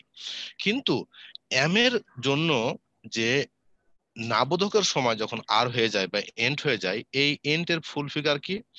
এখানে হচ্ছে এমটা যেহেতু মানে নাবোধক দরকার, তাই এম আর এন একসাথে থাকলে এনটা সাইলেন্ট হয়ে যায়। কিন্তু নাবোধক করার জন্য এনটাই আমাদের বেশি দরকার। যার কারণে ওইখানে এমটাকে ড্রপ করে এন দেওয়া হয়েছে। হ্যাঁ? আশা করি শ্রাবন্তী, তুমি ব্যাপারটা বুঝতে পারছ। যেহেতু আমাদের নাবোধকটা বেশি দরকার, তাই ওখানে এমটা ড্রপ করে এনটাকে দেওয়া হয়েছে। কারণ এম এন পাশাপাশি থাকলে উচ্চারণ উচ্চারিত হয় না। আশা একটু রেসপন্স করে জানাও। থ্যাংক ইউ হ্যাঁ বাবলা। ওকে দেখি তোমাদের উদ্দেশ্যে আরেকটা ট্যাগ কোয়েশ্চেন দেই। দেখো নোবডি ওয়াজ হেয়ার এটা ট্যাগ কোয়েশ্চেন পড়ো সবাই, ঝটপট।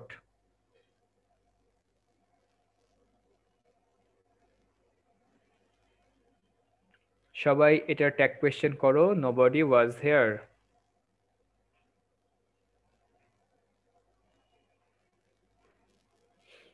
আল্লাহর ওয়াস্তে একজনও যদি কারেক্ট উত্তর করতা, একজন করছ দুইজন করছ ভেরি গুড প্রথম কথা নোবডি এর বদলে তোমাকে ট্যাগ কোয়েশ্চেনে অবশ্যই পার্সোনাল প্রোনাউন বসাইতে হবে। কেমন প্রোনাউন পার্সোনাল প্রোনাউন অনেকে এনিবডি লেখো এনিবডি কোনো পার্সোনাল প্রোনাউন না। তো নোবডির বদলে আমরা কি লিখব? হি সি দে এদেরকে পার্সোনাল প্রোনাউন বলা হয়। আমাকে অবশ্যই দে লিখতে হবে। তো নোবডি এই শব্দটা তোমার অ্যাফিরমেটিভ নাকি নেগেটিভ এটা নেগেটিভ শব্দ। তাহলে ট্যাগ কোয়েশ্চেনটা তো অ্যাফিরমেটিভ হবে। তাহলে আমি যেই ভার্বটা লিখব, সেই ভার্বটাকে অ্যাফিরমেটিভ রাখতে হবে নেগেটিভ করা যাবে না। তাহলে আমি এটাকে ওয়াজ দে লিখতে পারি। এখন তোমরাই আমাকে বলো যে ওয়াজ কি কখনো প্লুরাল সাবজেক্টের সাথে বসে কিনা? দের সাথে কি ওয়াজ বসে? বলো। দের সাথে কখনো ওয়াজ বসে? ইয়েস অর নো আমরা কি বলি দে ওয়াজ দেয়ার নাকি দে ওয়্যার দেয়ার এখানে কি হয়ে যাবে? তাহলে এটা চেঞ্জ হয়ে ওয়্যার হয়ে যাবে। দেখছ? একটা সহজ জিনিস, কতজন ভুল করতেছো? অ্যান্সার হবে ওয়্যার দে তাহলে জেনে রাখো ট্যাগ কোয়েশ্চেনে বাক্যে যদি বাক্যটা নেগেটিভ হয়, তাহলে ট্যাগ কোয়েশ্চেন অ্যাফিরমেটিভ হবে। আর নোবডি এর পরে যদি ভার্ব বসে, সেই ভার্বটা তোমার সিঙ্গুলার হলেও, এর বদলে প্রোনাউনটা হয়ে যায় প্লুরাল দ্যাট ইজ ওই ভার্বটাও তখন প্লুরাল হয়ে যায়। তাহলে নোবডি ওয়াজ দেয়ার অ্যান্সার কি হবে? ওয়্যার দে হবে এটার অ্যান্সার ঠিক আছে? মনে থাকার কিন্তু কথা, খুবই সহজ একটা জিনিস ছিল। দেখো, বুঝছি কিনা? ওকে এরপরে, ভাইয়া নিড নিডেন্টের রুলটা দেখো নিডেন্ট তোমার যখন তুমি নিডেন্ট বলতেছো, সেটা একটা মডেল অক্সিলারি আর নিড যখন বলতেছো, তখন সেটা একটা প্রিন্সিপাল ভার্ব যেটা মডেল অক্সিলারিতে যে বিষয়গুলো নিয়ে আমরা আলোচনা করেছি। দেখি আরেকটা জায়গায় চলে যাই। দেখো শার্ট আপ আমি এভাবে লিখলাম যে শাট আপ এটা ট্যাগ কোয়েশ্চেন কি হবে বলো? Shut up Marzia word two লিখেছো? আচ্ছা বলতেছি আগে এটা ট্যাগ কোয়েশ্চেন বলো। প্রথমটার অ্যান্সার হবে উইল ইউ মেনে নিলাম। শাট আপ উইল ইউ হতে পারে ওয়ান্ট ইউ হতে পারে ক্যান ইউ হতে পারে মে ইউ হতে পারে মাইট ইউ হতে পারে, প্রত্যেকটা হতে পারে। কিন্তু এই শাট আপের উত্তরটা কি হবে? দেখো। তার মানে এই নিয়মটা তোমাদের জানা নাই। তোমাদের জানার অবগতির জন্য বলে রাখতেছি, এটার অ্যান্সার হবে কান্টিউ কি হবে? কান্টিউ হবে। তাহলে কেমনে বুঝব ভাইয়া? যখন দেখবা যে কোনো একটা বাক্যে সেই ভার্বটা কিংবা সম্পূর্ণ বাক্যটা, কখনো কখনো শুধু ভার্ব কখনো কখনো পুরো বাক্য এরকম করে ক্যাপিটাল লেটারে থাকতে পারে, যেমন ওপেন দ্য ডোর ঠিক আছে? শাট আপ যখন প্রত্যেকটা ক্যাপিটাল লেটারে লেখা হয়েছে, তার মানে বোঝা যাচ্ছে যে এই পার্সন কথাটা বলছে, সে প্রচণ্ড রাগান্বিত। ধরো তোমরা অপ্রাসঙ্গিক কথাবার্তা বলতেছো প্রচণ্ড কোয়েশ্চেন অ্যান্সার বক্সে ধমক দিয়ে বলব শাট আপ তখন তারপর কি বলব, তুমি কি চুপ করতে পারতেছো না?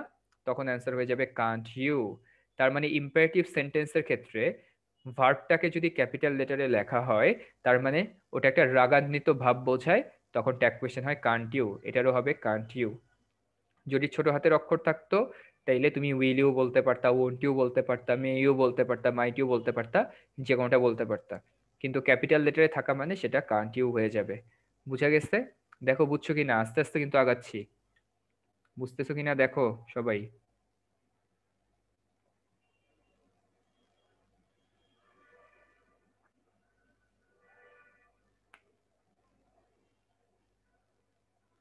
ওকে ভাই ক্যান ইউ হয় না? এখানে ক্যান ইউ না ক্যান্ট ইউ হয়। আচ্ছা সানবিল লিখছো উইল ইউ কেমনে হলো? তার মানে তো ট্যাগ কোয়েশ্চেনে পুরোটাই ঘাপলা আছে আমাদের। দেখো, প্রথম কথা, আমি যদি বলি যে, কি বলে? Go out get out get out এই বাক্যটার সাবজেক্ট কে আমাকে বলো? বাক্যটার সাবজেক্ট কে? গেট আউট এটা একটা ইম্পারেটিভ সেন্টেন্স আমরা জানি। ইম্পারেটিভ সেন্টেন্সের সাবজেক্ট কে হয়? এটার সাবজেক্ট হয় হচ্ছে ইউ এখন আমাকে বলো যে আমি যখন কাউকে গেট আউট বলতেছি, সে কি ইতিমধ্যে বাইরে বের হয়ে গেছে? নাকি তখন যাচ্ছে? নাকি ভবিষ্যতে যাবে? কোনটা? তোমরাই বলো। আমি, তুমি আমার সামনে দাঁড়ায় আছো, তোমাকে আমি বলতেছি বের হয়ে যাও। তার মানে কি তুমি বের হয়ে যাচ্ছ? গেছো? নাকি যাবা? যাবে। তাহলে যদি যাবে, এটা কোন টেন্স এটা প্রেজেন্ট টেন্স পাস্ট টেন্স নাকি ফিউচার টেন্স বলো। প্রেজেন্ট পাস্ট নাকি ফিউচার ফিউচার টেন্স তাহলে ইউ এর পাশে যদি আমার কোনো টেন্স বসাইতে হয় ফিউচারে তাহলে সেটা কি হবে? উইল হবে। তাহলে ইম্পারেটিভ সেন্টেন্সের ট্যাগ কোয়েশ্চেন কেন উইল ইউ হয়? এটার ব্যাখ্যাটা খুবই সহজ না, সাধারণ না। এরপরও দেখো ইম্পারেটিভ সেন্টেন্সের ট্যাগ কোয়েশ্চেন কেন উইল ইউ হয়? এটা নিয়ে কারও কোনো কনফিউশন আছে কিনা দেখো। এখন বলতে পারো ভাইয়া, এটা অ্যাফিরমেটিভ এটা কেন নেগেটিভ হইল না? এটাকে নেগেটিভও লিখতে পারো। দুটোই লিখতে পারো। এটা উইল ইউ লিখতে পারো ওয়ন্ট ইউ লিখতে পারো, নিয়মটা এরকম। ইম্পারেটিভ সেন্টেন্সের ক্ষেত্রে মূল বাক্যটা যদি হ্যাঁবাচক হয়, তাহলে ট্যাগ কোয়েশ্চেন হ্যাঁবাচক হইতে পারে ট্যাগ কোয়েশ্চেন নাবাচক হতে পারে।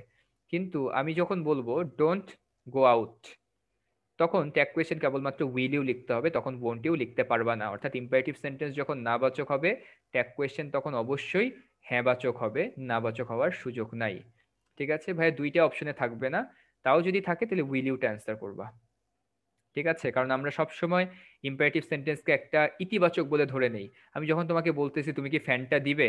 আমি কখনো সেটার প্রতি নেগেটিভ ধারণা পোষণ করি না যে তুমি দিবে না। আমি একটা আশা নিয়েই বলি যে তুমি ফ্যানটা হয়তো দিবে। এই জন্য এটাকে নেগেটিভ না করাটাই শ্রেয়। ঠিক আছে?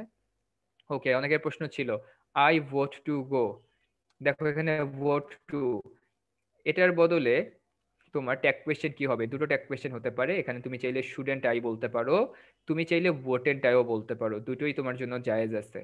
স্টুডেন্ট আই অথবা ভোটেন্ট আই দুইটাই কারেক্ট তার মানে ভোট টুর বদলে স্টুডেন্ট লেখা যায় অথবা ভোটেন্ট লেখা যায়। দুটোই অ্যাবসোলিটলি কারেক্ট ভাইয়া শ্যাল দিয়ে একটা উদাহরণ দেন। Let's go for a picnic চলো একটা পিকনিকে যাই। Let's go for a picnic মাথায় রাখবা লেটস দিয়ে যদি কোনো বাক্য শুরু হয়, তার কোয়েশ্চেন অবশ্যই শ্যাল উই হবে। আবারও বলছি লেটস দিয়ে কোনো বাক্য শুরু হলে তার ট্যাগ কোয়েশ্চেন অলওয়েজ কি হবে? শ্যাল উই হবে? বুঝা গেছে? ভাইয়া। ওকে জি ভাইয়া আমি কি কাইন্ডলি দশ সেকেন্ড সময় নিতে পারি? জি ভাই অবশ্যই।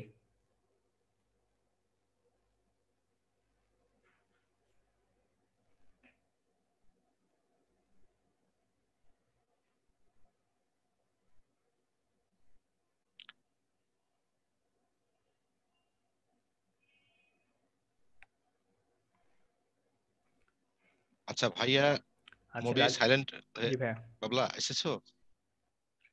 জি ভাই আমি শুনতে পাচ্ছি ভাই আপনি বলেন ভাই আমি বলেছি ভাই আপনি টাইম নেন সমস্যা নেই ভাই সপু তুমি লিখছো যে যে লেটারগুলো উচ্চারণ করার সময় সাইলেন্ট করতে হয় তাহলে ওইগুলো লেখার সময় ক্যান ইউজ করা হয়। Okay thank you so much আমি উত্তর দিচ্ছি ফারজানা তুমি উত্তর উত্তর যদি তোমার কর্ণ করে পৌঁছে থাকে তাহলে আমাকে কিউএনএ তে রেসপন্স করে জানাবা যে ভাইয়া আমি বুঝেছি বা বুঝি নাই। আচ্ছা দেখো ড্যাম শব্দটার কথা বলি। ড্যাম শব্দটা নাউন হয় ভার্ব হয়। এখন ড্যামের পাশে যে এন আছে এনটা সাইলেন্ট আছে। তোমার প্রশ্ন হচ্ছে, কেন এই সাইলেন্টগুলো ইউজ করা হয়? আমরা এই ড্যাম শব্দটা ভার্ব এবং ড্যাম শব্দটা নাউন যদি আমরা এটাকে অ্যাডজেক্টিভ মানে অ্যাজেক্টিভ বানাই, তখন হয় ড্যামনেবল দেখো ড্যামের পাশে এ বি এল ই যোগ করার কারণে এনটা সাইলেন্ট থেকে কিন্তু এবার উচ্চারিত হচ্ছে। সুতরাং ক্লাসিফিকেশনের কারণে যখন একটা শব্দের ক্লাসিফিকেশন অন্য পার্টস অফ স্পিচে চেঞ্জ করা হয়, তখন ওই সাইলেন্ট শব্দটার উচ্চারণ আমাদের দরকার হয়। যার কারণে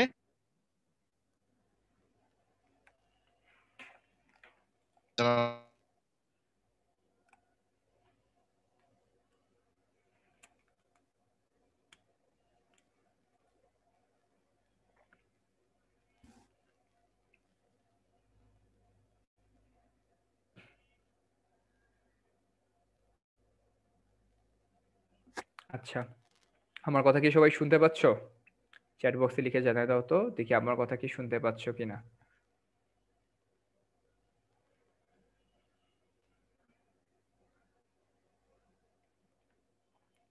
সবাই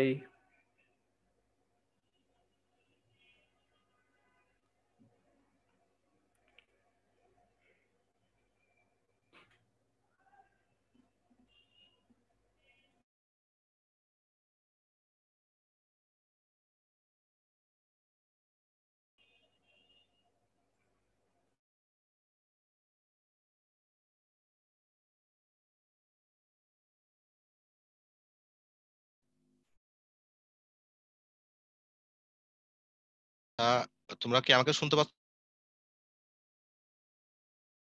শুনতে পাচ্ছ? প্লিজ একটু চ্যাট বক্সে ওয়াই লিখে জানাও। তোমরা যদি আমাকে শুনতে পাও প্লিজ চ্যাট বক্সে একটু ওয়াই লিখে জানাও। আচ্ছা আমি কিছু কোশ্চেনের উত্তর দিই। ভাইয়া মনে হয় একটু টেকনিক্যাল গ্লিচ হয়েছে, যাই হোক।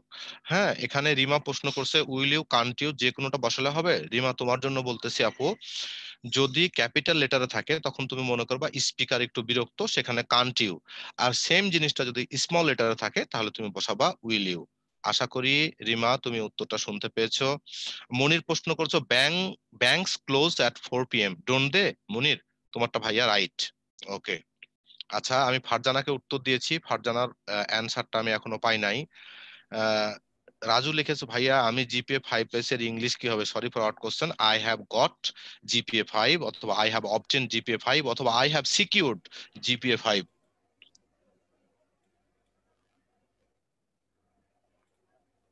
Babla ভাইয়া মনে হয় ব্যাক করছে। ভাইয়ার কণ্ঠ শুনতে মানে পাইলে আমরা স্টপ করে দিব। ভাই শুনতে পাচ্ছেন আমার কথা? হ্যাঁ বাবলা এবার শুনতে পাচ্ছি। ওকে ভাইয়া। ওকে এখানে বেশ কিছু ট্যাগ কোয়েশ্চেন আছে। আমরা দেখতে পাচ্ছি বেশ কিছু ট্যাগ কোয়েশ্চেন আছে। আমরা এগুলো একটু উত্তর ঝটপট দেখে নেই। তাহলে চলো।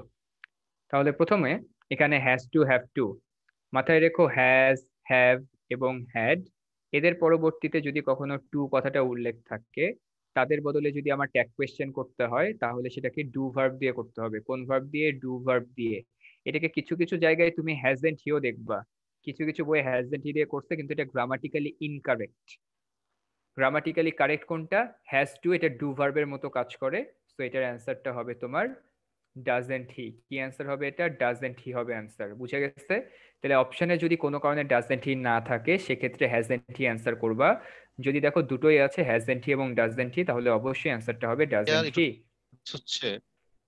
জি ভাই। তারপরে they hadn't left when you arrive এটা অ্যান্সার কি হবে? বলো। এখানে হ্যাডেন্ট তাহলে হ্যাড থেকে এখানে নটটা উঠে যাবে অ্যান্সার হবে had they I am your well wisher এটার অ্যান্সার হবে aren't I let's go to a picnic এটার অ্যান্সার কি হবে? সবার পারার কথা বলেছিলাম, এটার অ্যান্সার হবে শ্যাল উই অর্থাৎ লেটস দিয়ে কোনো বাক্য শুরু হলে চোখ বন্ধ করে তার ট্যাগ কোয়েশ্চেন কি হয়? শ্যাল উই হয়। পাস দ্য সল্ট এটার অ্যান্সার কি হবে? বলো pass the salt will you very good pass the salt will you nobody phoned answer কি হবে? নোবডি ফোন এটা সবার পারার কথা নোবডি ফোন তাইলে এটা পাস্ট টেন্স তাইলে এখানে ফোন্ট থেকে হয়ে যাবে ডিড তাহলে ফোন থেকে কি হয়ে যাবে? ডিড হয়ে যাবে। একজন বস্তু তিন নাম্বারটা বুঝি নাই, তার মানে ক্লাসে ছিল না, অমনোযোগী ছিল তাহলে এটা অ্যান্সার হয়ে যাবে did they I have two pets এটার অ্যান্সার হবে ডোন্ট ইউ কি হবে? ডোন্ট ইউ অনেকে হ্যাভেন্ট ইউ লেখে হ্যাভেন্ট ইউ হয়, কিন্তু অপশনে দুটোই থাকতে পারে, দুইটা থাকলে অ্যান্সার হবে ডোন্ট ইউ মাথায় রেখো হ্যাভ যখন অক্সিলারি ভার্ব দেখো হ্যাভ যখন অক্সিলারি ভার্ব তখন ট্যাগ কোয়েশ্চেন হ্যাভ ধরেই করতে হয়। যেমন I have done the work কি বলতে হয়? I have done the work তখন এটা ট্যাগ কোয়েশ্চেন কি হবে? হ্যাভেন্ট আই কিন্তু হ্যাভ যখন তোমার কোন ভার্ব হ্যাভ যখন তোমার প্রিন্সিপাল ভার্ব যেমন প্রিন্সিপাল ভার্ব কখন হইতে পারে? আই হ্যাভ আ পেন আমার একটা কলম আছে।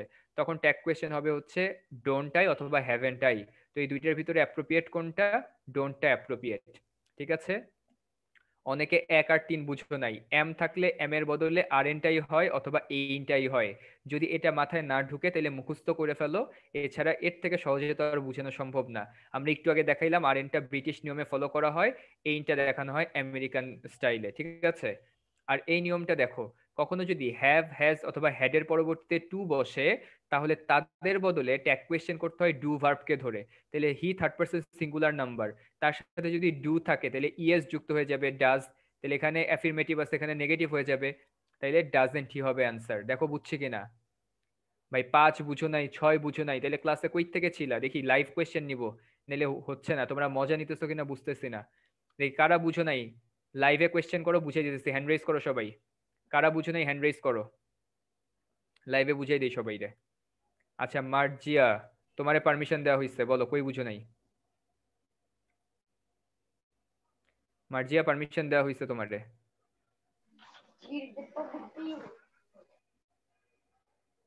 অন্তরা পারমিশন দেওয়া হয়েছে তোমাকে। ইফাত পারমিশন দেওয়া হয়েছে তোমাকে। তোমাদেরকে পারমিশন দেওয়া হয়েছে আনমিউট করে প্রশ্ন করো।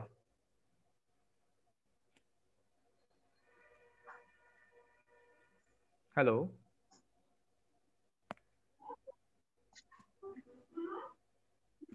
hello.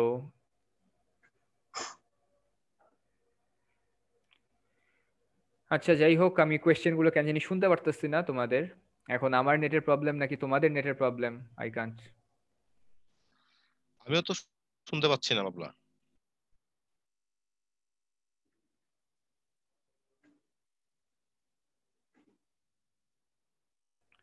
সো আরও কেউ আনমিউট করা থাকলে? বাবলা জি ভাইয়া শুনতে পাচ্ছি।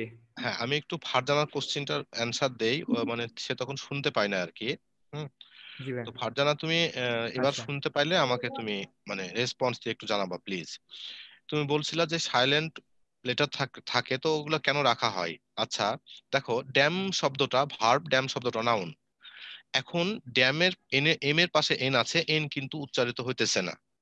যদি আমরা এই নাউন বা ভার্বটাকে যদি আমরা অ্যাজেক্টিভ বানাই, তাহলে হচ্ছে ড্যামনেবল হয়। ড্যামনেবল এখন যখন আমরা এই ভাবকে বা নাউনটাকে অ্যাজেক্টিভ বানাতেছি তখন কিন্তু ওই সাইলেন্ট এনটা এবার উচ্চারিত হইতেছে।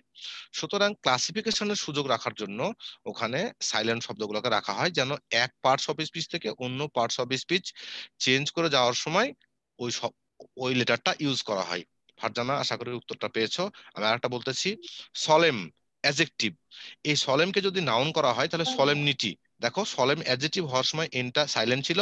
যখন এটাকে কনভার্ট করে আমরা নাউনে নিয়ে যাইতেছি সলেমনিটি তখন কিন্তু এন আর সাইলেন্ট থাকতেছে না। এম এরও উচ্চারণ হইতেছে এই ভাগে এনেরও উচ্চারণ হইতেছে ইটির সাথে।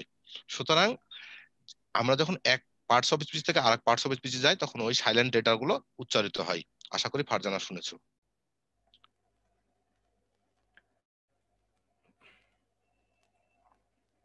আচ্ছা।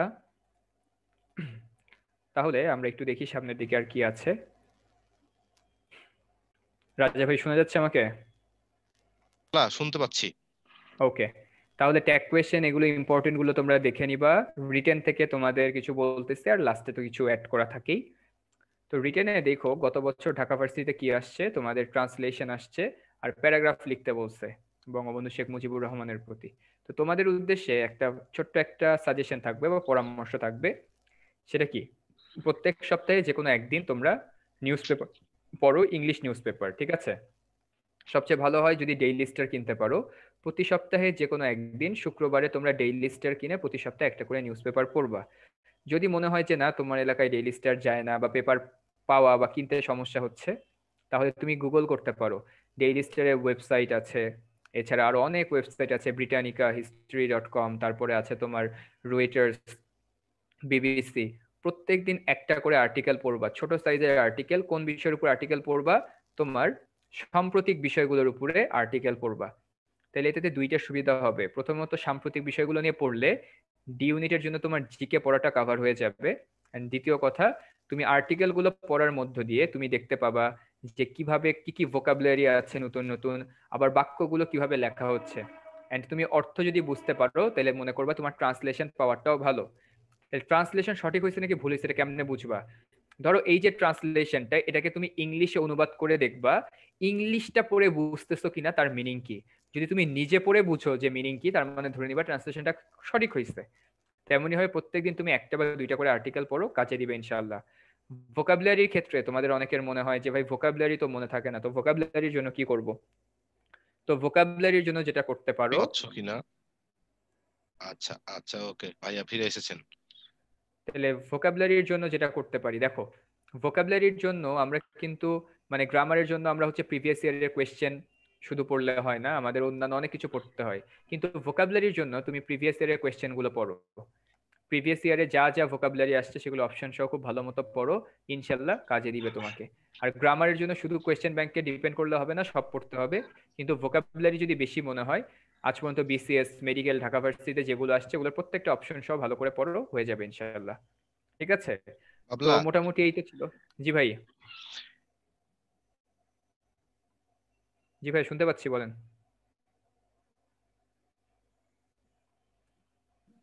অর্চনার মাধ্যমে আসলে সবাইকে একটা বিষয় ক্লিয়ার করা যাবে। তুমি যদি মানে দশটা শেখেন আমাকে। জি ভাই অবশ্যই।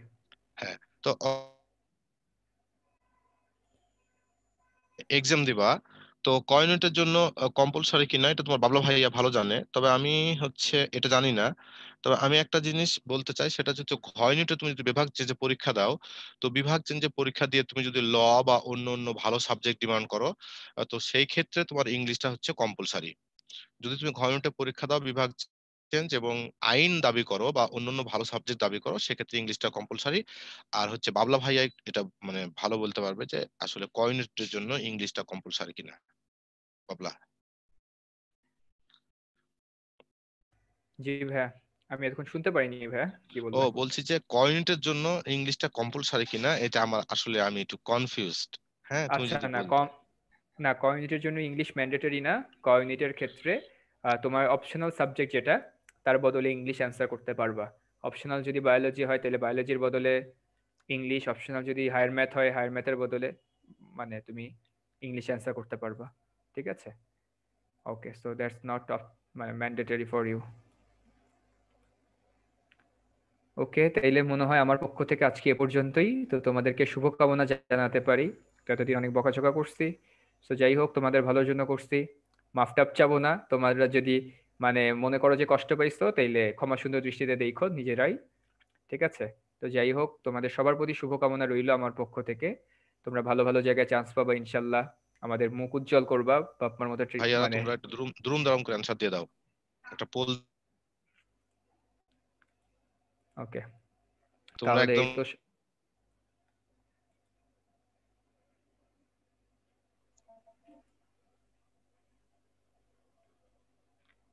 তাহলে সবার প্রতি শুভকামনা জানালাম আমি আর আমার জন্য দোয়া করবা সবাই ঠিক আছে? তারপরে যদি তোমরা মনে কষ্ট পাও।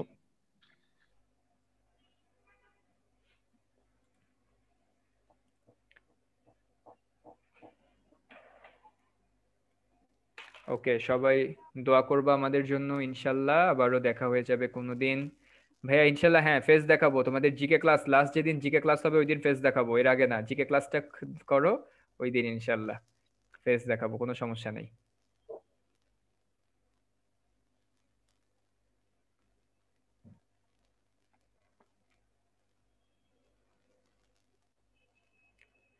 তাহলে আজকে এখানেই বিদায় নিচ্ছি। তাহলে আমার পক্ষ থেকে আল্লাহ হাফেজ সবাইকে।